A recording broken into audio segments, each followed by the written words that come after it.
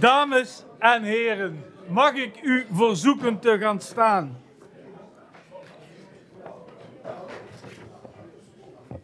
Voor het begin van deze vergadering waarin wij samenkomen om de belangen van de gemeente Beekdalen en haar inwoners te dienen, spreken wij de hoop uit dat onze arbeid vrucht zal dragen. Mogen wij kracht en inspiratie putten uit onze geloofs- en levensovertuiging met de juiste waardering voor elkaars mening. Dit is onze bede aan God of elkaar. Neem die weer plaats. Beste mensen, u heeft de stoel al zien staan. En als het goed is, heeft hij vandaag ook al een rip toegezonden gekregen over de jongerencampagne hashtag Vertel. En dat is een campagne die wij de afgelopen maanden hebben gehad. En daaruit zijn heel veel reacties gekomen richting het college. Maar als speciale gasten vandaag, voordat ik de vergadering formeel open, hebben we hier Pien en Michelle. En Pien en Michelle, dat zijn een van de twee, twee van de vele karttrekkers van uh, de jongerencampagne hashtag Vertel. Want het college is afgelopen week ook ontvoerd geweest door uh, de jongeren en rondgeleid door, uh, door de gemeente. Dat was vorige week alweer. En, uh, en daar hebben de jongeren ons verteld wat er met Beekdalen moet gaan gebeuren. Pien en Michelle willen graag deze stoel aan ons aanbieden, aan u aanbieden, als symbool voor uh, wat ze hebben opgehaald. Pien en Michelle, alsjeblieft. Uh, ja, goedenavond. Moet je even de microfoon indrukken. Heeft hij aan? Zo? Oké. Okay. Uh, ja, goedenavond. ik ben Pien, ik woon in Hulsberg. Ik ben Michelle en ik woon in Osbeek. Uh, en ja, wij hebben meegewerkt uh, met hashtag Vertel. Um, ja, wij zijn eigenlijk met, uh, of er zijn heel veel jongeren, zo'n 700 jongeren um, hebben vragenlijsten ingevuld, enquêtes ingevuld of zijn, waar was het bij? Zo die bus. Oh, zo'n bus was reed rond en de World Café. Dus daar werden met name gesprekken gevoerd tussen ja. jongeren over wat zij van zes onderwerpen vonden. En de zes onderwerpen zijn eigenlijk van meepraten en meedenken, uh, klimaat, uh, gezondheid en gezondheid en ja, gelukkig. Gelukkig, gezondheid gelukkig.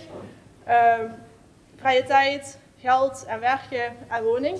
En de top drie wat er uit de enquêtes en de vragen was um, toch op nummer 1 de vrije tijd. Dat vinden jongeren toch wel, daar hebben jongeren meer aandacht voor.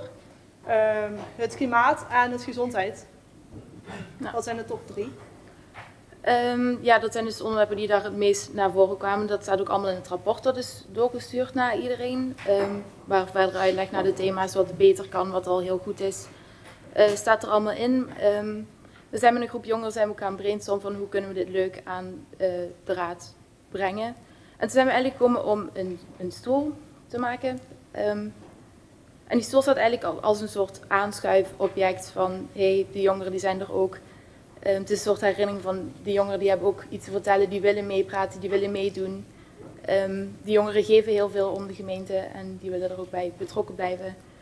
En ja, daar staat deze stoel symbool voor. Dus als u daar langs loopt, als u hem ziet, denk dan even van hé, hey, de jongeren die, ja, die zijn er ook, die hebben ook uh, baat bij wat er hier gebeurt natuurlijk. En dat is ook belangrijk om daarbij stil te blijven staan. Ja. Dus bij deze. Ja, ja dankjewel.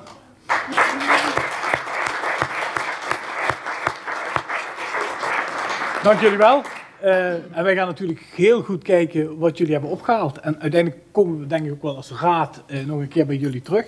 Om nog eens een keer dieper te bespreken. Ik moet overigens zeggen uh, dat dit hele traject stond onder leiding van, van wethouder De Koster. Maar ook een aantal jonge raadsleden en jong, jonge politici waren daarbij betrokken. Onder andere Sam uh, was er uh, heel nauw bij betrokken. En ook een van de initiatiefnemers om, uh, om dit te ondersteunen. Dus de connectie met de raad is er al. En nu komt het nog tot uitvoering. En dat ligt in handen uiteindelijk van ons allemaal. Dankjewel voor het mooie symbool. En ik laat hem ook als symbool hier zo mooi staan. Zodat we als we hier discussiëren, dan weten we dat we dat voor de toekomst doen. En dat is onze jeugd. Dank jullie wel. Dan ben ik aangekomen bij de formele opening van de vergadering. En dan doe ik als eerste het loodje trekken. nummer 19. En dat is de heer Schafraad. Bij hoofdelijke stemming bent u als eerste aan de beurt. Dan ben ik eh, bij de vaststelling van de agenda. De auditcommissie heeft op donderdag 1 februari het raadsvoorstel in zaken de nota, weerstandsvermogen en risicomanagement besproken en adviseert uw raad om dit als hamerstuk te agenderen. Ik stel dit voor om dit te doen bij agenda punt 6.7. Is iedereen hiermee akkoord? Dat is dan zo. Verder is er een abonnement ingediend eh, door de VVD in zaken de APV. En ik stel voor dit uh, dan aan de orde te stellen bij dit betreffende agendapunt. Overigens, ik kan u nu al mededelen dat, dat de inhoud van het amendement hebben wij getracht na te leven in de APV en ondersteunen wij. Uh, en er zijn een tweetal moties uh, vreemd aan de orde van de dag ingediend met betrekking tot het OLS. En ik stel voor om hier één agendapunt van te maken en wel agendapunt 9. Kunt u daarmee instemmen? De heer Kokkenkoren. Ja, dank u wel, voorzitter. Nou, we hebben een reglement van orde dat voorschrijft dat uh, moties 96 uur van tevoren moeten zijn ingediend, tenzij er een spoedeisend karakter achter zit. En een van die moties kreeg ik pas, uh, ja, laat ik zeggen, in 80 uur van tevoren. Dus ik uh, vind dat we het eigenlijk niet zouden moeten behandelen. Er zit geen spoedeisend karakter achter. Maar, vol, maar, volgens mij is deze motie ingediend door een grote raadsmeerderheid van deze raad. Dan is de voorzitter altijd zo om uh, dit voor te stellen aan de Raad. Zijn er meer mensen die vinden dat deze motie niet behandeld dient te worden? D66. Ja, oh nee, ik dacht dat u daar het woord over wilde. Excuses. Uh, de heer Pieper. De verkeerde feiten uh, rond gaan zoomen. Als ik nu iemand een motie stuur op dinsdag uh, voorafgaan aan de raadsvergadering van de week dinsdag erna. Zit ik dan binnen de 96 uur termijn of niet? Ja, formeel moet hij dan aangeboden zijn bij, het bij, bij de griffier en de griffier dient hem dan geagendeerd te hebben. Dat nee, is, dat is nee, de formele. Maar de heer Kokkelkorn zei dat hij hem niet gehad had binnen 96 uur van tevoren. Maar die heeft hij wel gehad. Gaan we hier termijnen over doen? Ik... De heer Zwelt. Ja, dan gaan, we er, dan gaan we er termijn over doen. Kijk, het reglement van orde zegt niet dat we inventariseren van welke moties zouden we eens een keer graag willen indienen. Ik denk dat we daarvan moeten wegblijven van die discussie. De motie is te laat ingediend. We hebben veel eerder hebben we het gehad over allerlei termijnen in het presidium. Uh, en daar is, uh, er is behoorlijk strikt uh, de hand aangehouden. En ik denk dat, gelet op het niet spoedeisende karakter van moties, in dit verband, zou dat inderdaad volgens mij niet niet in deze raadsvergadering behandeld moeten worden, maar in de volgende. Daar heeft u Voor de tweede termijn, de heer Pieper. Heeft u helemaal gelijk in, maar de heer Koppelkom zei iets anders. Hij had hem nooit gezien 96 uur van tevoren en dat is niet waar. En dat spoedeisend, dat staat in ons reglement, moet spoedeisend zijn. En wat spoedeisend is, bepaalt deze raad. Als de meerderheid van deze raad bepaalt dat het spoedeisend is, dan is het spoedeisend. En de agenda voor deze raadsvergadering wordt nu vastgesteld. En dan begrijp ik dat de heer Zwelde en de heer Kokkerkoorn het niet eens zijn met het agenderen van dit agendapunt. En daarmee wordt het agendapunt 9. Agendapunten van maken. Niet in één agenda. Dan maken we daar agendapunt 9 en agendapunt 10 van. Ja? Uh, de motie van GroenLinks is ingediend binnen de termijn, ja, het staat hier ook en, enzovoort.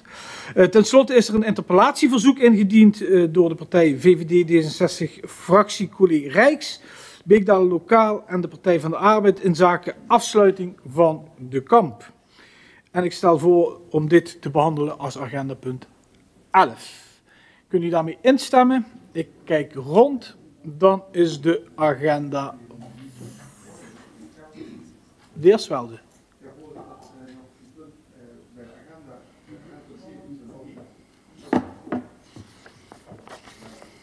Zo, oh. um, bij agendapunt 7.1 zijn wat stukken toegevoegd. Er staan er een aantal uh, openbare stukken die staan achter een uh, slotje. Dat maakt het voor iedereen makkelijk om de discussie te volgen, behalve voor degenen wat eh, niet achter het slotje kunnen kijken. Mijn verzoek is om die voorbehandeling van het agendapunt van het slot af te halen.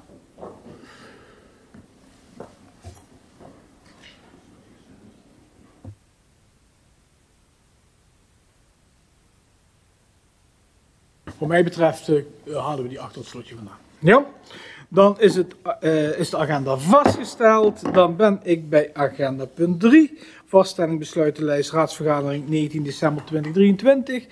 Wens iemand daar stemming over? Dus niet het geval. Agenda punt 4. Voorstellen zaken toelating en beëdiging van mevrouw Vonke Dieteren. Omdat de heer Poelsma heeft aangegeven zijn eh, raadslidmaatschap te willen beëindigen, is er een vacature ontstaan in de gemeenteraad. En mevrouw Vonke komt in aanmerking om deze opengevallen plek in te vullen. Voordat de raad een besluit tot haar toelating eh, neemt, dient er een commissie van onderzoek te worden samengesteld die de geloofsbrief onderzoekt. Ik wil daarvoor de heer Kevers, de heer Rijks en de heer Swelse vragen om zitting te nemen in deze commissie. Is de raad hiermee akkoord? De raad is hiermee akkoord. Dan schors ik de vergadering voor het onderzoek. Vijf minuten.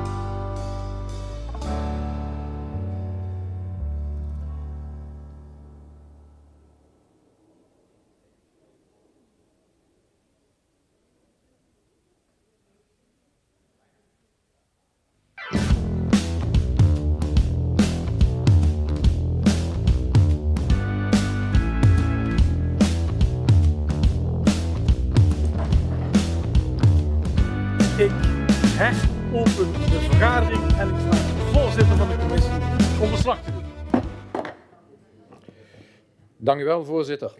De commissie uit de Raad van de gemeente Beekdalen in wier handen werd gesteld de geloofsbrief en verder bij de kieswet gevolgde stukken, ingezonden door mevrouw SMW Suzanne Vonken-Dieteren op donderdag 4, februari, 4 januari 2024 benoemd tot lid van de Raad van de gemeente Beekdalen, rapporteert de Raad van de gemeente Beekdalen dat zij bovengenoemde bescheiden heeft onderzocht en in orde bevonden. Gebleken is dat de benoemde aan alle in de gemeentewet gestelde eisen voldoet. De commissie adviseert tot haar toelating als lid van de Raad van de gemeente Beekdalen. Plaats Nut 6 februari 2024. De commissie, de heer Kevers, de heer Rijks en de heer Zwarzen. Dank u wel, voorzitter van de commissie. Kan de raad daarmee instemmen dat de mevrouw Vonke wordt benoemd? Dat is zonder stemming. Daarmee is mevrouw Vonke benoemd. En dan vraag ik mevrouw Vonke om naar voren te komen.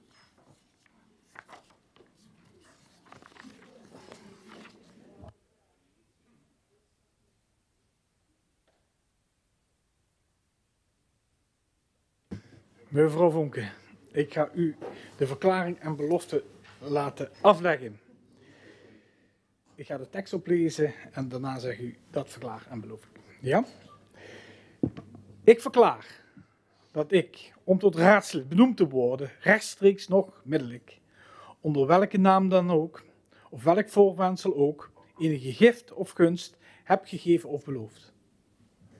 Ik verklaar en beloof dat ik om iets in dit ambt te doen of te laten, rechtstreeks nog middelijk, enig geschenk of enige belofte heb aangenomen of zal aannemen. Ik beloof dat ik getrouw zal zijn aan de grondwet, dat ik de wetten zal nakomen en dat ik mijn plichten als raadslid naar eer en geweten zal vervullen. Dat verklaar en beloof ik. Dan mag ik u van harte feliciteren.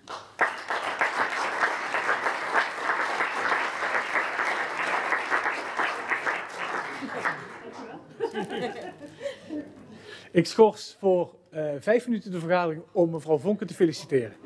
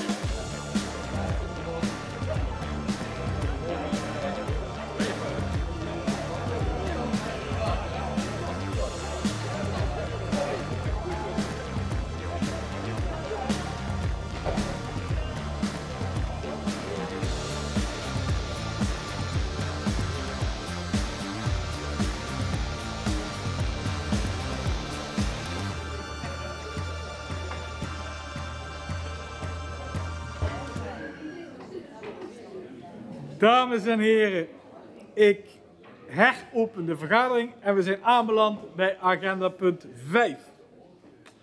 Met dit voorstel wordt ontslag verleend aan een aantal commissieleden, te weten de heren Grefijn, Van Oosterbos en de Koster en mevrouw Louis Dolts. Daarnaast wordt de heer Poelsma als commissielid benoemd namens GroenLinks. De heer Poelsma dient beëdigd te worden als commissielid en heeft daarvoor aangegeven de verklaring en belofte af te leggen. En ik vraag de heer Poelsma om naar voren te komen.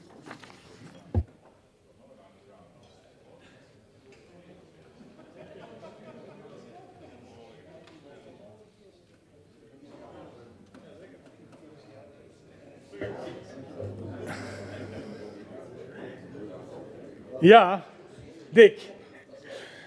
Ik ga het eerst maar eens even de formele act afleggen. Dus ik ga de tekst voorlezen. De verklaring en belofte. Nu moet u goed luisteren, want deze tekst heeft u al vaker gehoord.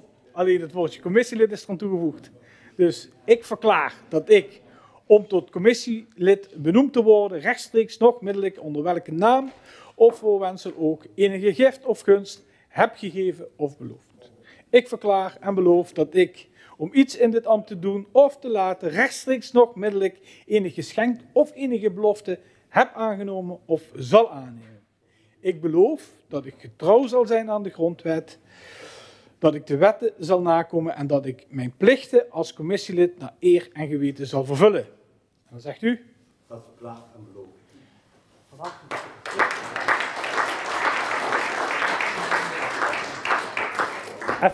Even wachten. Ja, dus het is niet gebruikelijk dat wij uh, net beëdigde commissieleden ook bloemen gaan overhandigen.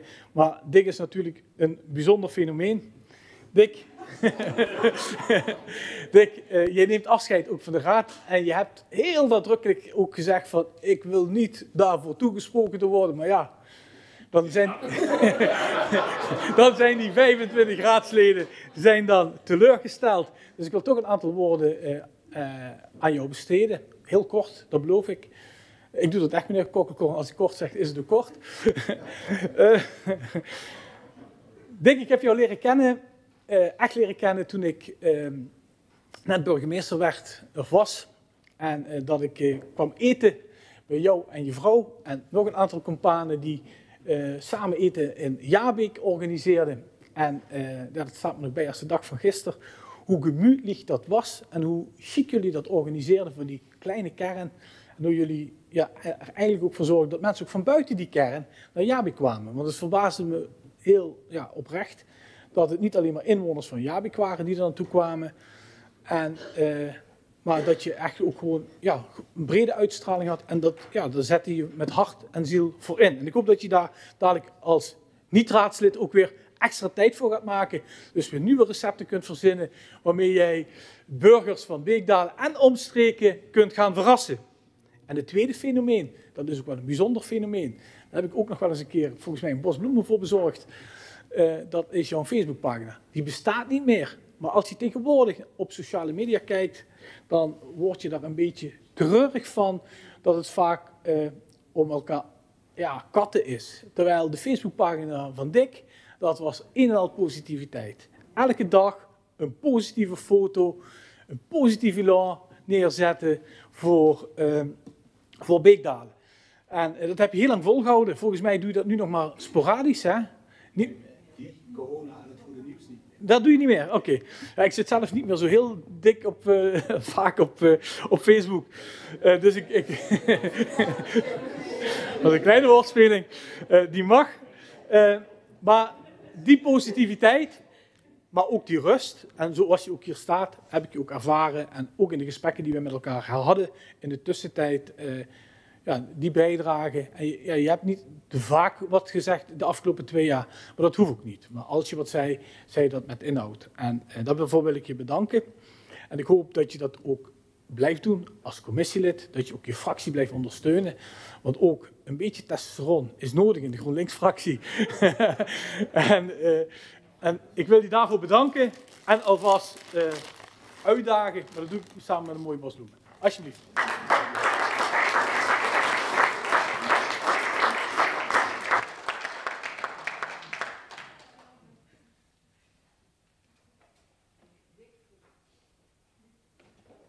Nu hoop ik niet dat ik een hele fractie op mijn hele heb, deze opmerking.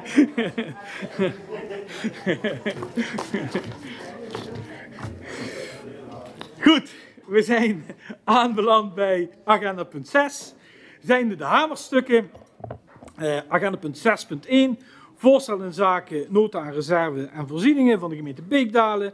In 2009 is door de Raad de eerste nota reserve en voorzieningen vastgesteld. De financiële verordening telt, de, de, eh, telt dat de Raad deze periodiek eh, moet herzien. En daartoe ligt een actualisering voor. Wens hier iemand stemming over? Dat is niet het geval. Dan is deze vastgesteld.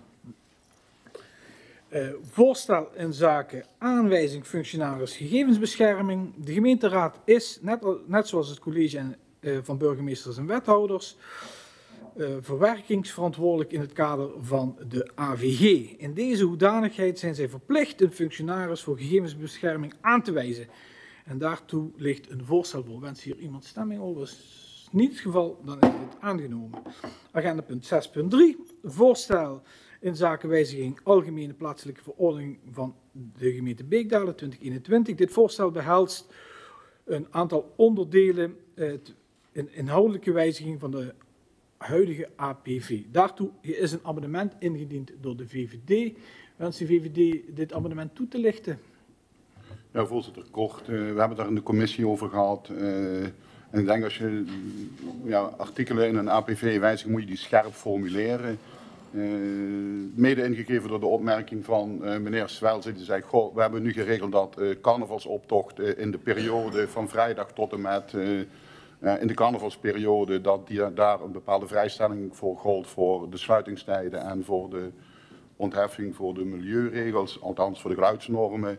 En er liep het tegen het fenomeen op dat in eh, de carnavalsoptocht in het prachtige Jaarbeek, u memoreerde het net al, eh, dat die twee weken voor de carnaval eh, zou plaatsvinden. Nou, daar moest iets voor geregeld worden, dat heeft u gedaan. Eh, ik heb toen een warm pleidooi gehouden samen met, mijn- met mijn collega meneer Borger om eh, dit ook voor de lichtgestoet eh, in Schinveld te organiseren. Dat kon in de oude tekst niet. In de nieuwe tekst staat de carnavalsoptocht.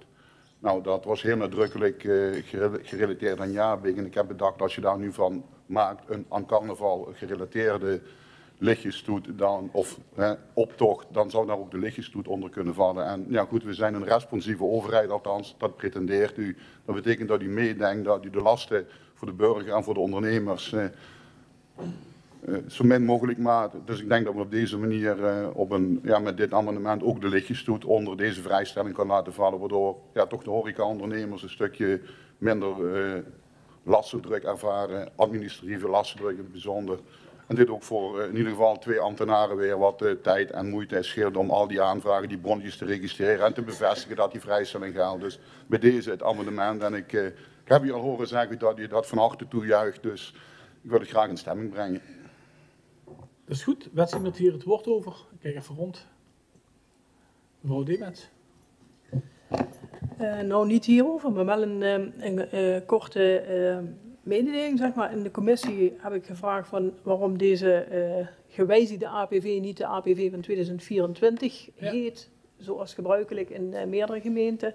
Eh, dus misschien een oproep aan u om dat de volgende keer wel mee te nemen als we in 2025 wellicht de APV gaan wijzigen.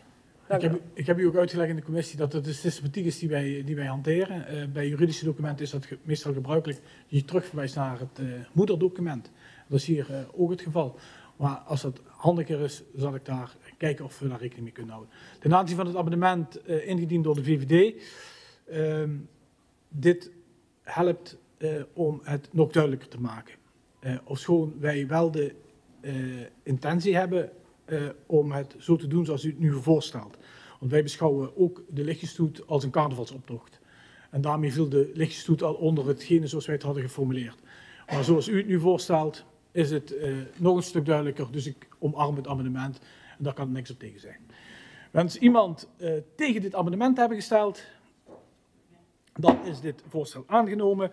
Eh, en dan het voorstel zelf, het geamendeerde voorstel. Wens iemand tegen dit geamendeerde voorstel te stemmen? Dat is ook niet het geval. Daarmee is het voorstel aangenomen. Dan ben ik bij agenda punt 6.4, voorstel in zaken vaststellen verordening eh, op gezamenlijke rekenkamer Limburg Centraal 2024 met dit voorstel, zoals de wet dat verplicht, een onafhankelijke rekenkamer ingesteld eh, in een samenwerkingsverband met een aantal omliggende collega-gemeentes. Wie wenst hier stemming over? Niemand, dan is dit voorstel aangenomen. Dan ben ik bij agenda punt 6.5, voorstel in zaken vaststellen verordening op de auditcommissie gemeente Beekdalen 2024. Met dit voorstel worden de doelstellingen, taken en verantwoordelijkheden van de auditcommissie in de verordening verder gespecificeerd. Wens hier iemand stemming over? Dat is niet het geval, dat is deze aangenomen. 6.6. Voorstel in zaken verlenging, stimuleringsregeling, afkoppeling, hemelwater, private terreinen, gemeente Beekdalen. Dit voorstel betreft de verlenging van de regeling waarmee afkoppelen van regenwater op private terreinen wordt gestimuleerd. Wens hier iemand stemming over? Dat is niet het geval. Dan is dit aangenomen. Dan ben ik bij toegevoegde agenda punt 6, eh, 6.7. Voorstel in zaken nota weerstandsvermogen en risicomanagement. Dit voorstel bevat het beleid van de gemeente eh, dat de gemeente hanteert om risico's te managen en het vormt de basis voor de paragraaf weerstandsvermogen in de begroting en het jaarverslag. Wenst iemand hier stemming over? Dat is niet het geval, dan is dit aangenomen. Dan ben ik aangekomen bij agenda punt 7, zijnde de raadsvoorstellen bespreekstukken. Agenda punt 7.1, voorstellen zaken wijziging gemeenschappelijke regeling de stadsregio Parkstad Limburg. Als gevolg van de gewijzigde wet gemeenschappelijke regelingen dient de gemeenschappelijke regeling stadsregio Parkstad Limburg te worden aangepast. Tevens worden er een aantal zaken toegevoegd die onder regie van Parkstad zullen worden uitgevoerd.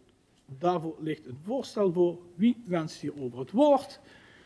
Dat is de heer Svelze, mevrouw Dreesen, Sturmans, de heer Kokkelkoren. Dan geef ik als eerste het woord aan de heer Kokkelkoren. Ja, dank u wel, voorzitter. Ehm, we zouden hier een hele discussie kunnen voeren omtrent het toevoegen van eh, water en natuur aan deze GR. Eh, inhoudelijk zijn wij van mening dat er eh, geen ander samenwerkingsverband voor de gemeente Beekdalen is dan Parkstad. Het middengebied heeft tot op heden heel vrijblijvend gefunctioneerd, heeft heel weinig daadkracht getoond en het is geen formele samenwerking. Uh, wat ons wel behoorlijk verbaasd heeft, en dat komt met name doordat de heer Zwelze dat, dat in een eerder stadium heeft aangehaald, is uh, dat wij nu gevraagd worden in te stemmen met de ontwerpwijziging van de gemeenschappelijke regeling, terwijl de gemeenschappelijke regeling al een samenwerkingsovereenkomst is aangegaan in zaken water. Um, en ik zou heel graag van de portefeuillehouder willen weten, wat betekent het nu op het moment dat wij nee zeggen tegen dit wijzigingsvoorstel? Zijn dan onomkeerbare besluiten genomen of komen we in een probleem? Want op het moment dat nee zeggen geen optie is, ja, dan zitten we hier eigenlijk alleen maar met het mes op de keel om als stemvee om ja te knikken. Dus ja, daar graag meer informatie over en duidelijkheid. Tot zover aan eerste termijn. Dank u wel. Mevrouw Driessen.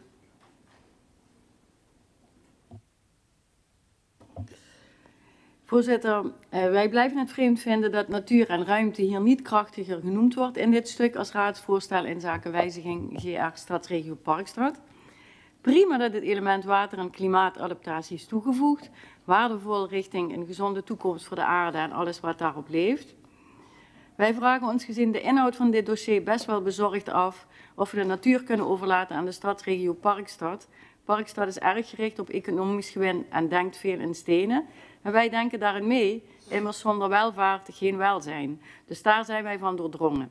Andersom vragen wij ons af of de Parkstadregio, de stadsregio Parkstad wel doordrongen is van het feit dat er zonder oog voor natuur niks zal bloeien en groeien in Parkstad. Bedenk alleen al het feit dat aanplant van bomen wetenschappelijk bewezen zal zorgen voor de broodnodige verkoeling in een stad. Een stadsregio kan niet alleen beton niet alleen in beton gegoten worden. Volgens mij is dat ook een beeld dat een ieder, dat een ieder zal afschrikken. Dus groene natuur hoort wel degelijk thuis in een GR-visie Stadsregio Parkstad, waarin ons eigen beekdalen tot de fraaie plattelandsgebied behoort. Ons plattelandsgebied, waarvoor onze burgemeester, portefeuillehouder in deze, regelmatig op de barricade springt, want zonder plattelandsbelang zal een stadsregio immers ook doodbloeden. Wij vragen de portefeuillehouder nu om een toezegging tot aansturen op aanvulling in zienswijze gemeenschappelijke regeling Stadsregio Parkstad Limburg, waarin natuur gewichtiger meegenomen wordt.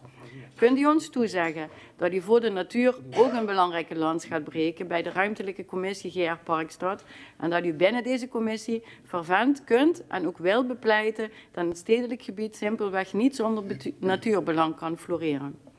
Met als toevoeging vanuit onze fractie dat ons Beekdalen natuurlijk prachtig grenst aan het middengebied en aan Zuid-Limburg. We hebben gekozen voor de, 30, voor de 360 graden visie. Ons streven om de groene long van onze regio te zijn. Natuurbelang houdt niet op bij de, grens, bij de gebiedsgrenzen. Dus zoek daar als Parkstad wat ons betreft dan ook nadrukkelijk de samenhang en de samenwerking op. Vergeet in het stadsdeel de vitale waarde van natuur niet. Voorzitter, verder de opmerking, en ik hoorde hem net bij de PvdA komen en D66 kwam ermee, uh, dat kort voor deze vergadering nog stukken zijn binnengekomen waar, waardoor het weer zo is dat ik onder andere deze niet meer heb kunnen lezen en dat is jammer.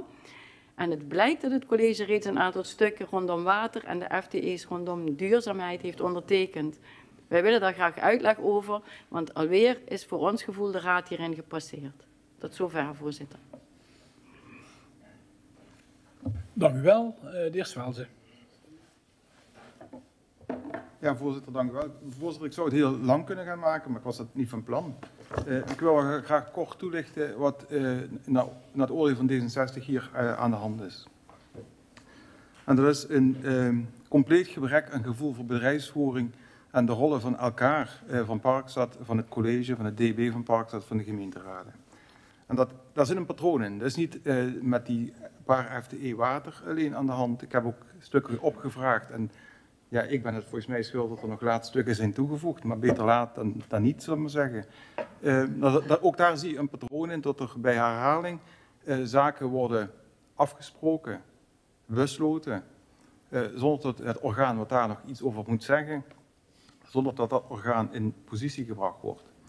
En dat hoeft allemaal niet zo heel erg ingewikkeld te zijn als het ehm, ondergeschikte mutaties zijn. Maar op het moment dat we zaken aan de kernagenda toevoegen, betekent dat nogal wat. Want dat betekent namelijk dat we onze eigen organisatie, eh, maar ook de organisatie, de mogelijke organisatie van het middengebied, wat we daar ook verder van vinden, dat we daar eh, een stap terug gaan doen, omdat we niet alleen denkkracht, maar ook uitvoeringskracht richting park zullen brengen. Dat is vooral het geval als we kijken naar de manier zoals het college de gelden van het ministerie voor Klimaat, zeg maar de objectengelden noem ik het dan maar even, die 7 ton per jaar, hoe het college die heeft weggezet. Die gaan naar Parkstad 8 FTE, die gaan naar de gemeente Heerlen 2 FTE, er gaan nog eens een aantal FTE's naar de woonwijzerwinkel. En die hele uitvoering van het klimaatbeleid, die brengen we onder bij organen waarvan we in principe zeggen, die moeten lean mean georganiseerd zijn en daar moet vooral denkkracht zitten. We brengen niet alleen de denkkracht, maar ook de uitvoeringskracht brengen we op cruciale thema's, brengen we op die manier buiten de deur. En dan moet je je ook gaan afvragen, ja, waar is dan de gemeente Beekdalen nog voor aan zet? Dus dat is de inhoudelijke, uh, zeg maar de inhoudelijke duiding zoals ik zie wat er gebeurt. En dat laat onverlet tot er hele goede dingen, want daar, dat, dat mantra dat hoor ik al dat hoor ik al echt gewoon vanuit, vanuit de eerste termijn van het college. Uh, hoe, hoeveel grote dingen dat er in Parkstad zijn, zijn gebeurd. Maar het gaat, uh, het gaat niet aan om heel veel uitvoeringskracht richting de stadsregio te brengen. Dat is, niet dat is niet goed voor de gemeente, maar dat is ook niet goed voor Parkstad. Voorzitter, de, de, belangrijkste vraag, de cruciale vraag is waarom het college iedere keer opnieuw weer eh, laat gebeuren, maar ook de raad niet voorstelt om eh, daar kritischer richting Parkstad te zijn als het gaat om het alvast maar wijzigen van de gemeenschappelijke regeling, alvast maar toevoegen van eh, gelden aan de begroting van Parkstad, zonder dat daar de gemeenteraden voor gevraagd worden. Dat is, uh, ja, het is hiervoor ook al gevraagd, maar uh, ja, wij slaan er wel heel erg op aan. En op het moment dat die, dat totaal gebrek aan uh, gevoel voor bestuurlijke verhoudingen en uh, governance van een aantal geldstromen, op het moment dat dat totale gebrek er is, dan is de steun van Parkstad, ik heb dat in commissieverband gezegd, dat is de steun voor Parkstad, voor de deelname aan de gemeenschappelijke regeling, geen vanzelfsprekende meer wat D66 betreft. De heer Sturmans. Ja, voorzitter, meneer Zwaans heeft denk ik uh, de kern van het probleem eigenlijk al benoemd. Kijk, in eerste instantie had de VVD zoiets van, nou, waarom moet je nu deze twee elementen, klimaat en uh, klimaatmitigatie, of water- en klimaatmitigatie, in dit raadsvoorstel verwerken? Want eigenlijk ging het alleen maar om een, een, een aanpassing op, op, grond van een wetswijziging. Nou, daar wordt dan toch iets, iets ingefietst uh, waarvan je je af kunt vragen, goh, was het niet netter geweest om dat in een separaat raadsvoorstel te doen? Je moet even heel goed opletten om, om even door te hebben wat eigenlijk in het raadsvoorstel staat. Maar ja, dan krijgen we achteraf nog wel wat stukken en dan ja, wordt eigenlijk aan de raad gevraagd om een kruisje te zetten bij, bij de handtekening, of de handtekening te zetten bij het kruisje. Maar dat blijkt dat bij dat, die kruisjes al een aantal handtekeningen staan, namelijk van het college. En die staan er best wel lang. En dat denk ik van, moi, college, dan heeft u wat uit te leggen. Dus ik ben erg benieuwd naar de reactie van het college, indachtig het betoog van, uh, van de heer Swelzen. Dank u wel. Ik kijk nu verder rond, was niet aan de orde. Uh, laat ik beginnen met te erkennen dat de volgorde der dingen uh, niet zo zijn gelopen zoals ze eigenlijk behoren te lopen. Desalniettemin, soms lopen processen zoals ze ook lopen. En dat is misschien wel een dooddoener.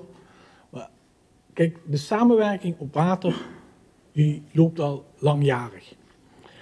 En dat zijn dan een aantal wethouders die bij elkaar gaan zitten. En dat loopt al volgens mij al meer dan tien jaar. En uh, in die tien jaar uh, komen de bestuurders van Parkstel bij elkaar om de goede dingen te, dingen te doen op basis van water. En die bestuurders die huren ook al heel lang deskundigheid in. Eerst ging er via Heerlen.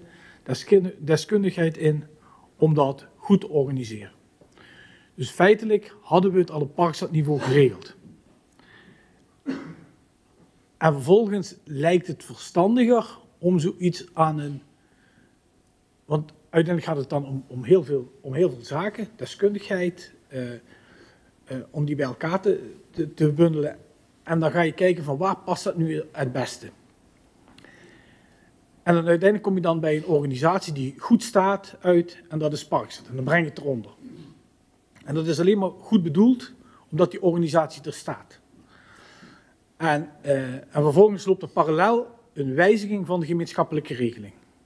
En dan is men bezig met de uitvoering en vervolgens moet het formeel geregeld worden. En dan gaat het mis. En dan gaat het mis in de zin van de snelheden uh, van de samenwerking die gaat door. Operationeel gaat men door en juridisch moeten we het regelen. En vandaag regelen we het juridisch, terwijl het operationeel is men gewoon bezig met de partijen buiten om zaken te regelen komt men tot een overeen, overeenkomst, onder andere met het waterschap, om zaken gewoon goed te regelen. Dus is het heel netjes wat hier gebeurt? Nee, dat, had beter gekund. Erken ik, en dat geef ik ook toe. En de opmerking die heer Swelze maakt, we moeten oppassen dat het te ver uitdijt, dat we altijd weer scherp moeten zijn, dat een organisatie als Parkstad ook de, het juiste formaat heeft, herken ik ook. En dat is ook hetgene wat ik in de DB altijd doe. Ik strijd er ook altijd voor dat het een lean en mean organisatie is. Maar van de andere kant wordt er ook veel bij die organisatie neergezet, omdat het gewoon een goede organisatie is. Die het ook voor elkaar krijgt om dingen voor elkaar te boksen. En op het moment dat je bijvoorbeeld heel veel subsidie bent, moet dat ook georganiseerd worden in zo'n organisatie. En uh, dus als je met het Rijk aan tafel zit, moet je er ook wel de juiste mensen in huis hebben om dat goed te doen. En dan kom je vaak om een spanning uit om, dat, om die organisatie goed in te richten. En die spanning die komt vandaag, komt die boven. Dus had het netter gekund, meneer Kokkelkool? Ja, had netter gekund. Uh, is het tekenen bij het kruisje? Nee. Als u volle onaard nee zegt, dan heb ik wat uit te leggen. Uh, en dan moet ik terug naar Parkstad en moet ik gaan vertellen dat de zienswijze van de gemeenteraad anders is. Gebeurt er nu iets anders dan we al deden? Is het antwoord ook nee. Want we deden al heel veel samenwerken, eigenlijk op regioverband. Dat knoopje hadden we al lang gezet. De opmerkingen van mevrouw Dreesen, van de fractie van GroenLinks. Natuur. En toen ik de vraag kreeg, dacht ik van ja. Uh, daar is Parkstad op dit moment niet voor ingericht. Er is geen medewerker die bezig is met natuur. Maar bij goed ruimtelijk beleid, en daar heeft hij gewoon een punt, bij goed ruimtelijk beleid hoort naast klimaatadaptatie hoort ook natuur. Want de natuur in dit gebied, en we merken het alle, alle dag, is gewoon super kwetsbaar. Dus wij moeten uh, ook aandacht hebben voor natuur. En ik heb uw vraag, en zo gaat het, hè, uh, heb ik ook eens voorgelegd aan de organisatie Parkstad. En daar zeggen ze ook, ja, we zijn nu bezig met dat schrijven van dat nieuwe narratief. Hè, dus het nieuwe verhaal van Parkstad. En voorheen was het alleen maar gericht op ruimte en economische vooruitgang. En dat was ook keihard nodig. Dat is ook keihard nodig, dat is steeds keihard nodig. Maar dan moet je uh, je randen moet je niet vergeten. Uh, het is nog niet geregeld, hè, dat ga ik je ook niet toezeggen. Maar gaat wel onder de aandacht brengen om te kijken hoe krijgen we dat ook in de ruimtelijke agenda verankerd. Want je kunt geen stedelijke ontwikkeling hebben als je geen aandacht hebt voor je omgeving, natuur en landschap. Dat was mijn eerste termijn. De tweede termijn van de gemeenteraad. De heer Kokkelkoon, de heer Collet, de heer Sturmans, de heer Collet. Ja, voorzitter, dank u. Wat ik uit uw verhaal nog niet begrijp, is nu, je had het uh, college het mandaat om die handtekening bij dat kruisje te zetten.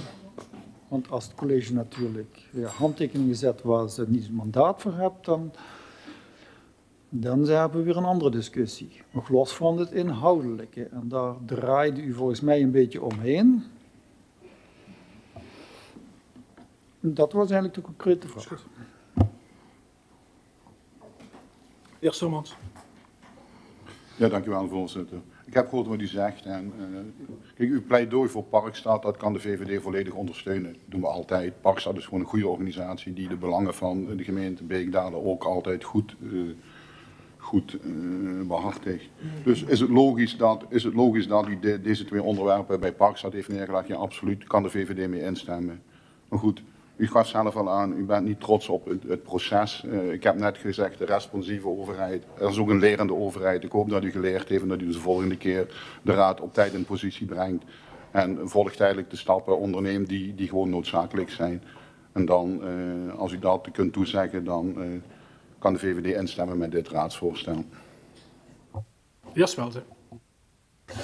Ja, voorzitter, dank u wel. Voorzitter, eh, ik heb ook aangegeven dat het geen incident eh, aan zich is, maar dat er een patroon in toenemende mate zichtbaar wordt, waarbij er eh, iedere keer opnieuw een aantal zaken georganiseerd worden in en rondom Parkstad, waar dan vervolgens nog besluitvorming over moet plaatsvinden. En ik heb het voorbeeld genoemd, eh, ik heb dat eh, ook aan de stukken laten toevoegen van juli vorig jaar, daar gaat het niet over twee FTE, maar een veelvoud daarvan. Er staat zelfs een collegebesluit om te anticiperen op besluitvorming zoals de gemeenteraad, die nog, of in ieder geval de, de, de zienswijze zoals gemeenteraden die nog op die voorstellen zouden kunnen indienen. Dan gaat het onder andere over die FTE's naar de woonwijzerwinkel en naar Parkstad en de gemeente Heerlen. Ja, ik heb nog niet gezien dat we daar een voorstel van het college voor gehad hebben. En dat is intussen een, maand of zeven geleden. En dan wordt het uh, voor uh, deze gemeenteraad, denk ik, in ieder geval voor onze fractie, wordt het heel erg lastig om het allemaal bij te houden op het moment dat ik in juli 2023 lees van ja, er komt nog een voorstel richting de Raad. Een college heeft wel geanticipeerd omdat we moeten gaan werven met FTE's en weet ik wat. En zeven maanden later moeten we nog in het donker tasten wat daar nu allemaal van gekomen is. Ja, dat gaat voor deze raad, in ieder geval voor deze fractie, gaat dat niet werken. We raken volkomen het zicht kwijt van wat we nu wel organiseren bij de woonwijzerwinkel, wat we wel organiseren bij Parkstad en wat we nog zelf organiseren dat het zo'n bord spaghetti wordt, en ik heb dat al eens vaker gezegd, een bord spaghetti heeft het inzicht dat je het ene touwtje trekt en je weet niet welk ander touwtje uh, van het bord afvliegt. En uh, daar maak ik me zorgen over. En dat wordt onbeheersbaar. En ik heb uh, de afgelopen dagen heb ik geprobeerd om een voorbeeld te bedenken van wat voor een organisatie datzelfde gebeurde, en dat is LICOM. Want LICOM was ook een goed functionerende organisatie waar iedereen blij mee was. Maar hoe verder LICOM van de gemeente ging loszingen, hoe erger het werd. En op enig moment heeft het geleid tot een harde crash. En daar eh, roep ik u uh, en uw mede-DB-leden toe op om dat te voorkomen. En dat kunt u niet voorkomen door goed te praten wat fout is gegaan, of door uh, wit te wassen wat zwart is. Dat gaat alleen maar om het echt intrinsiek anders te willen doen. Voorzitter, inhoudelijk zijn we het niet eens met het onderbrengen van dit soort ruimtelijke landelijke opgaven op het moment dat we een 360 graden oriëntatie hebben naar het middengebied, ehm, we, kunnen, we zouden ons goed kunnen vinden om daar veel meer de samenwerking op deze taken, ook op het gebied van duurzaamheid, te zoeken met andere eh, landen, plattelandsgemeenten van Zuid-Limburg. Dus inhoudelijk heeft het voorstel ook niet onze steun, dus we zullen ook tegen het voorstel stemmen. Dank u wel, mevrouw Dreesen. Voorzitter, u biegt op de volgorde van de processen hier niet, zijn niet hier niet helemaal kies. Los van de inhoud over dit raadsvoorstel wil ik wel even kwijt dat dit wel vaker zo is en dat wij als raad dan achter de fanfare aanlopen. Goed bedoeld in deze, zoals de portefeuille ons uitlegt, en dat willen wij best van hem aannemen. Het is ons als fractie veel aangelegen dat dergelijke onderwerpen als water en klimaat degelijk worden besloten. Dank ook voor de toezegging, wetende dat u het belang van natuur hoog hebt zitten. En wij hopen dat Beekdalen wat natuur betreft niet de rand van Parkstad wordt, maar de portefeuillehouder inschattende is hij daar te trots en te chauvinistisch voor. Dus tot zover. Dank u wel, de heer Kokkelkool. Ja, dank u wel, voorzitter. Nou, in ieder geval blij dat u aan heeft gegeven dat het proces uh, in deze niet goed gegaan is. In uw antwoord geeft u ook aan, ja, dan dient de raad een zienswijze in en moet ik terug naar Parkstad. Maar dat was niet mijn vraag. Want het besluit dat wij gaan nemen is tweeledig. Eén, in te stemmen met ontwerpwijziging van de gemeenschappelijke regeling. En hierop geen zienswijze in te dienen. En mijn vraag was specifiek, wat gebeurt er nu op het moment dat wij zeggen, wij stemmen niet in met dit voorstel? Wat zijn dan de consequenties? Dat was mijn specifieke vraag. En u kwam met een antwoord over een zienswijze, dan moet ik terug naar Parkstad. Maar ik vroeg niet naar wat als we een zienswijze indienen. Nou, u was klaar. Verder niemand meer van de raad. Uh, eerst de heer Collé. Uiteindelijk dat die overeenkomst die is getekend, is een operationele overeenkomst. Die overeenkomst hadden we ook getekend als het niet bij Parkstad was. Dan hadden wij gewoon buiten Parkstad om hadden we samengewerkt. En daar hebben we ook de afgelopen jaren geld aan besteed. En was die overeenkomst ook tot stand gekomen. Uiteindelijk gaat de raad er ook niet over hoeveel FTE's in Parkstad functioneren. Weersveld. Ja, u kunt dat nu wel zeggen, maar dat is natuurlijk niet waar. Want de begroting van Parkstad die wordt door de gemeenteraden... Ik was bij een komma. Ja, die zijn nu. Nee, ja. Uiteindelijk gaat u over de begroting. Maar als Parkstad het slim weet te organiseren, kunnen zij ook FTE's aannemen voor bepaalde taken en andere zaken minder doen. Dus het is een kwestie van de directie van Parkstad, hoe zij het organiseren. En het is aan ons welke taken wij daar naartoe brengen. En uiteindelijk is het er naartoe brengen, en dan hou ik het specifiek op water, want hier gaat het over, over water. We hebben ook eens gekeken als we de watertaak aan onszelf zouden willen houden. Wat het dan zou betekenen voor de gemeente Beekdalen. Er waren we veel fout aan kosten kwijt geweest om die kennis in onze organisatie te hebben. Nu hebben we het neergelegd bij Parkstad. En kijkende, en kijkende naar water. En je zou zeggen, meeste water hè, komt van boven. Maar heel veel water waar wij mee te maken hebben in Parkstad, komt toch echt wel, of in Beekdalen, komt toch echt wel van Parkstad. En uh, het afstromingsgebied, ook qua riolering, gaat echt wel vanuit het Parkstadgebied down uh, to Beekdalen. Dus wij zijn ook qua water voor een groot deel van ons gebied afhankelijk van wat er in Parkstad gebeurt. Hoe daar het water wordt vastgehouden. We hebben het al gezien bij de Geleenbeek. Wat dat betekent als er in Hoensbroek iets gebeurt met de Geleenbeek. Wat dat betekent voor uh, het, het afstroomse gebied. Dus we moeten daar de samenwerking zoeken. Weersveld. U hebt natuurlijk volkomen gelijk dat water altijd van het hoogste naar het laagste punt uh, stroomt. En dat is, dat is uiteindelijk is dat natuurlijk, uh, gaat dat allemaal naar de Maas, hè, wat er dan ook allemaal van die zijbeken en zijrivieren komt. Maar uw pleidooi wat u hier houdt voor het samenbrengen van die expertise om ook elkaars invloed, uh, op, op uh, de invloed van gemeenten op elkaar, uh, om die goed te blijven monitoren, dat pleit er toch juist voor om een zo groot mogelijke schaalgrootte, lees de schaal van Zuid-Limburg, als het gaat om water, in ieder geval na te streven. En laten we daar toch ook rondom het waterschap en WBL wat er is, laten we daar toch ook die eh, samenwerkingsverbanden koesteren, zodat we niet als gemeente daar een aparte samenwerkingsovereenkomst over moeten aangaan, maar dat we gezamenlijk die kar hadden op, hadden, die handschoen hadden opgepakt. Dat had ook een optie geweest. Is nu allemaal niet meer aan de orde. Dus dat is, eh, hoe heet dat, van gisteren geloof ik, eh, als we dat op zijn goed Duits zeggen. Maar Ik hoor wat hij zegt. ja, Ik hoor wat hij zegt. Maar dat geldt natuurlijk voor veel thema's. En als u mij ziet eh, opereren in Zuid-Limburg, dan eh, opereer ik veel meer op die Zuid-Limburgse schaal. En probeer ik ook, ook die agenda veel sterker te maken. Eh, en zeker op strategisch niveau. Eh, daar ben ik dagdagelijks mee bezig met in ieder geval de strategen van onze gemeente.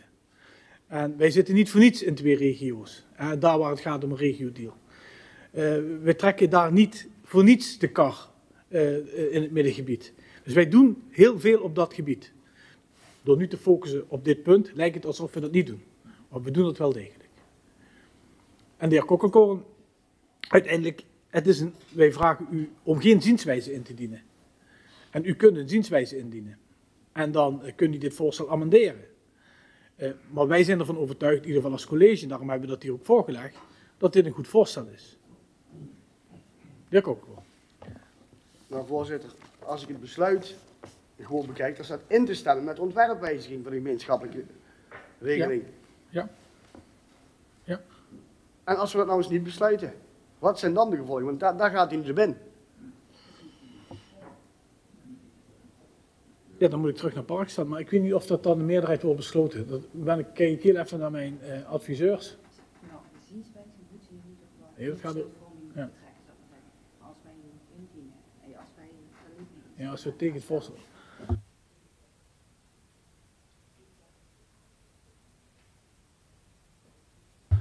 Nee, volgens mij is dit de meerderheid. Dus op het moment dat wij tegen zijn, dan, eh, eh, dan wordt toch de gemeenschappelijke regeling aangepast. Dat is mijn, dat is mijn inschatting nu. Ik weet dat, niet, ik weet dat overigens niet voor de volle 100%. Dan geeft u ons in ieder geval het gevoel dat we hier bij dit agenda onderwerp voor spek en boden bij zitten vanavond. Nee, dat is niet waar. Wij nemen u altijd serieus. En ik neem ook uw kritiek serieus. En eh, hetgene wat hier wordt gezegd, dat neem ik serieus. En dat neem ik ook terug mee naar Parkstad. Want de organisatie Parkstad staat niet stil. Die is in ontwikkeling. En dat, vragen wij ook van die organisatie. En met hetgene wat hier wordt gezegd, dat zal ik terugnemen ook naar DB, wat hier is gezegd.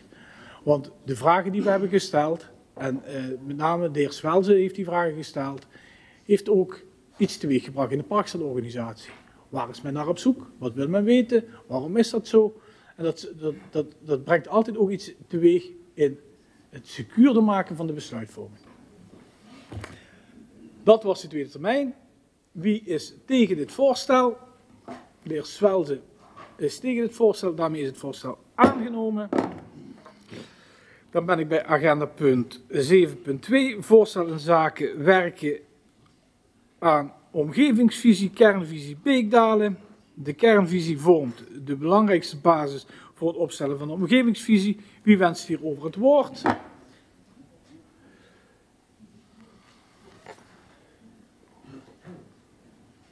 Van GroenLinks? Ik ben niet zo heel snel.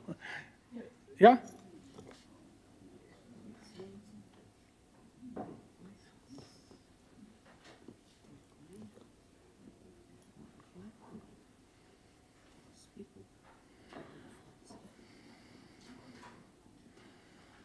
Dan beginnen we bij de heer Frans.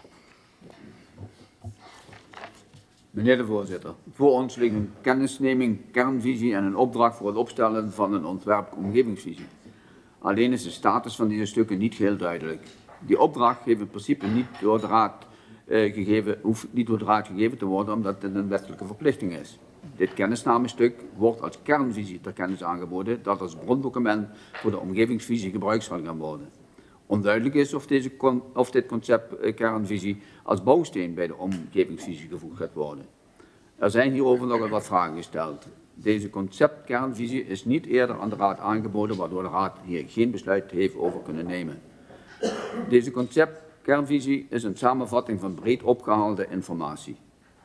Enkele formuleringen in deze concept eh, kernvisie zijn echter niet in de bijgevoegde bijlagen terug te herleiden. De was-wordt bijlage was in beginsel genuanceerder gesteld.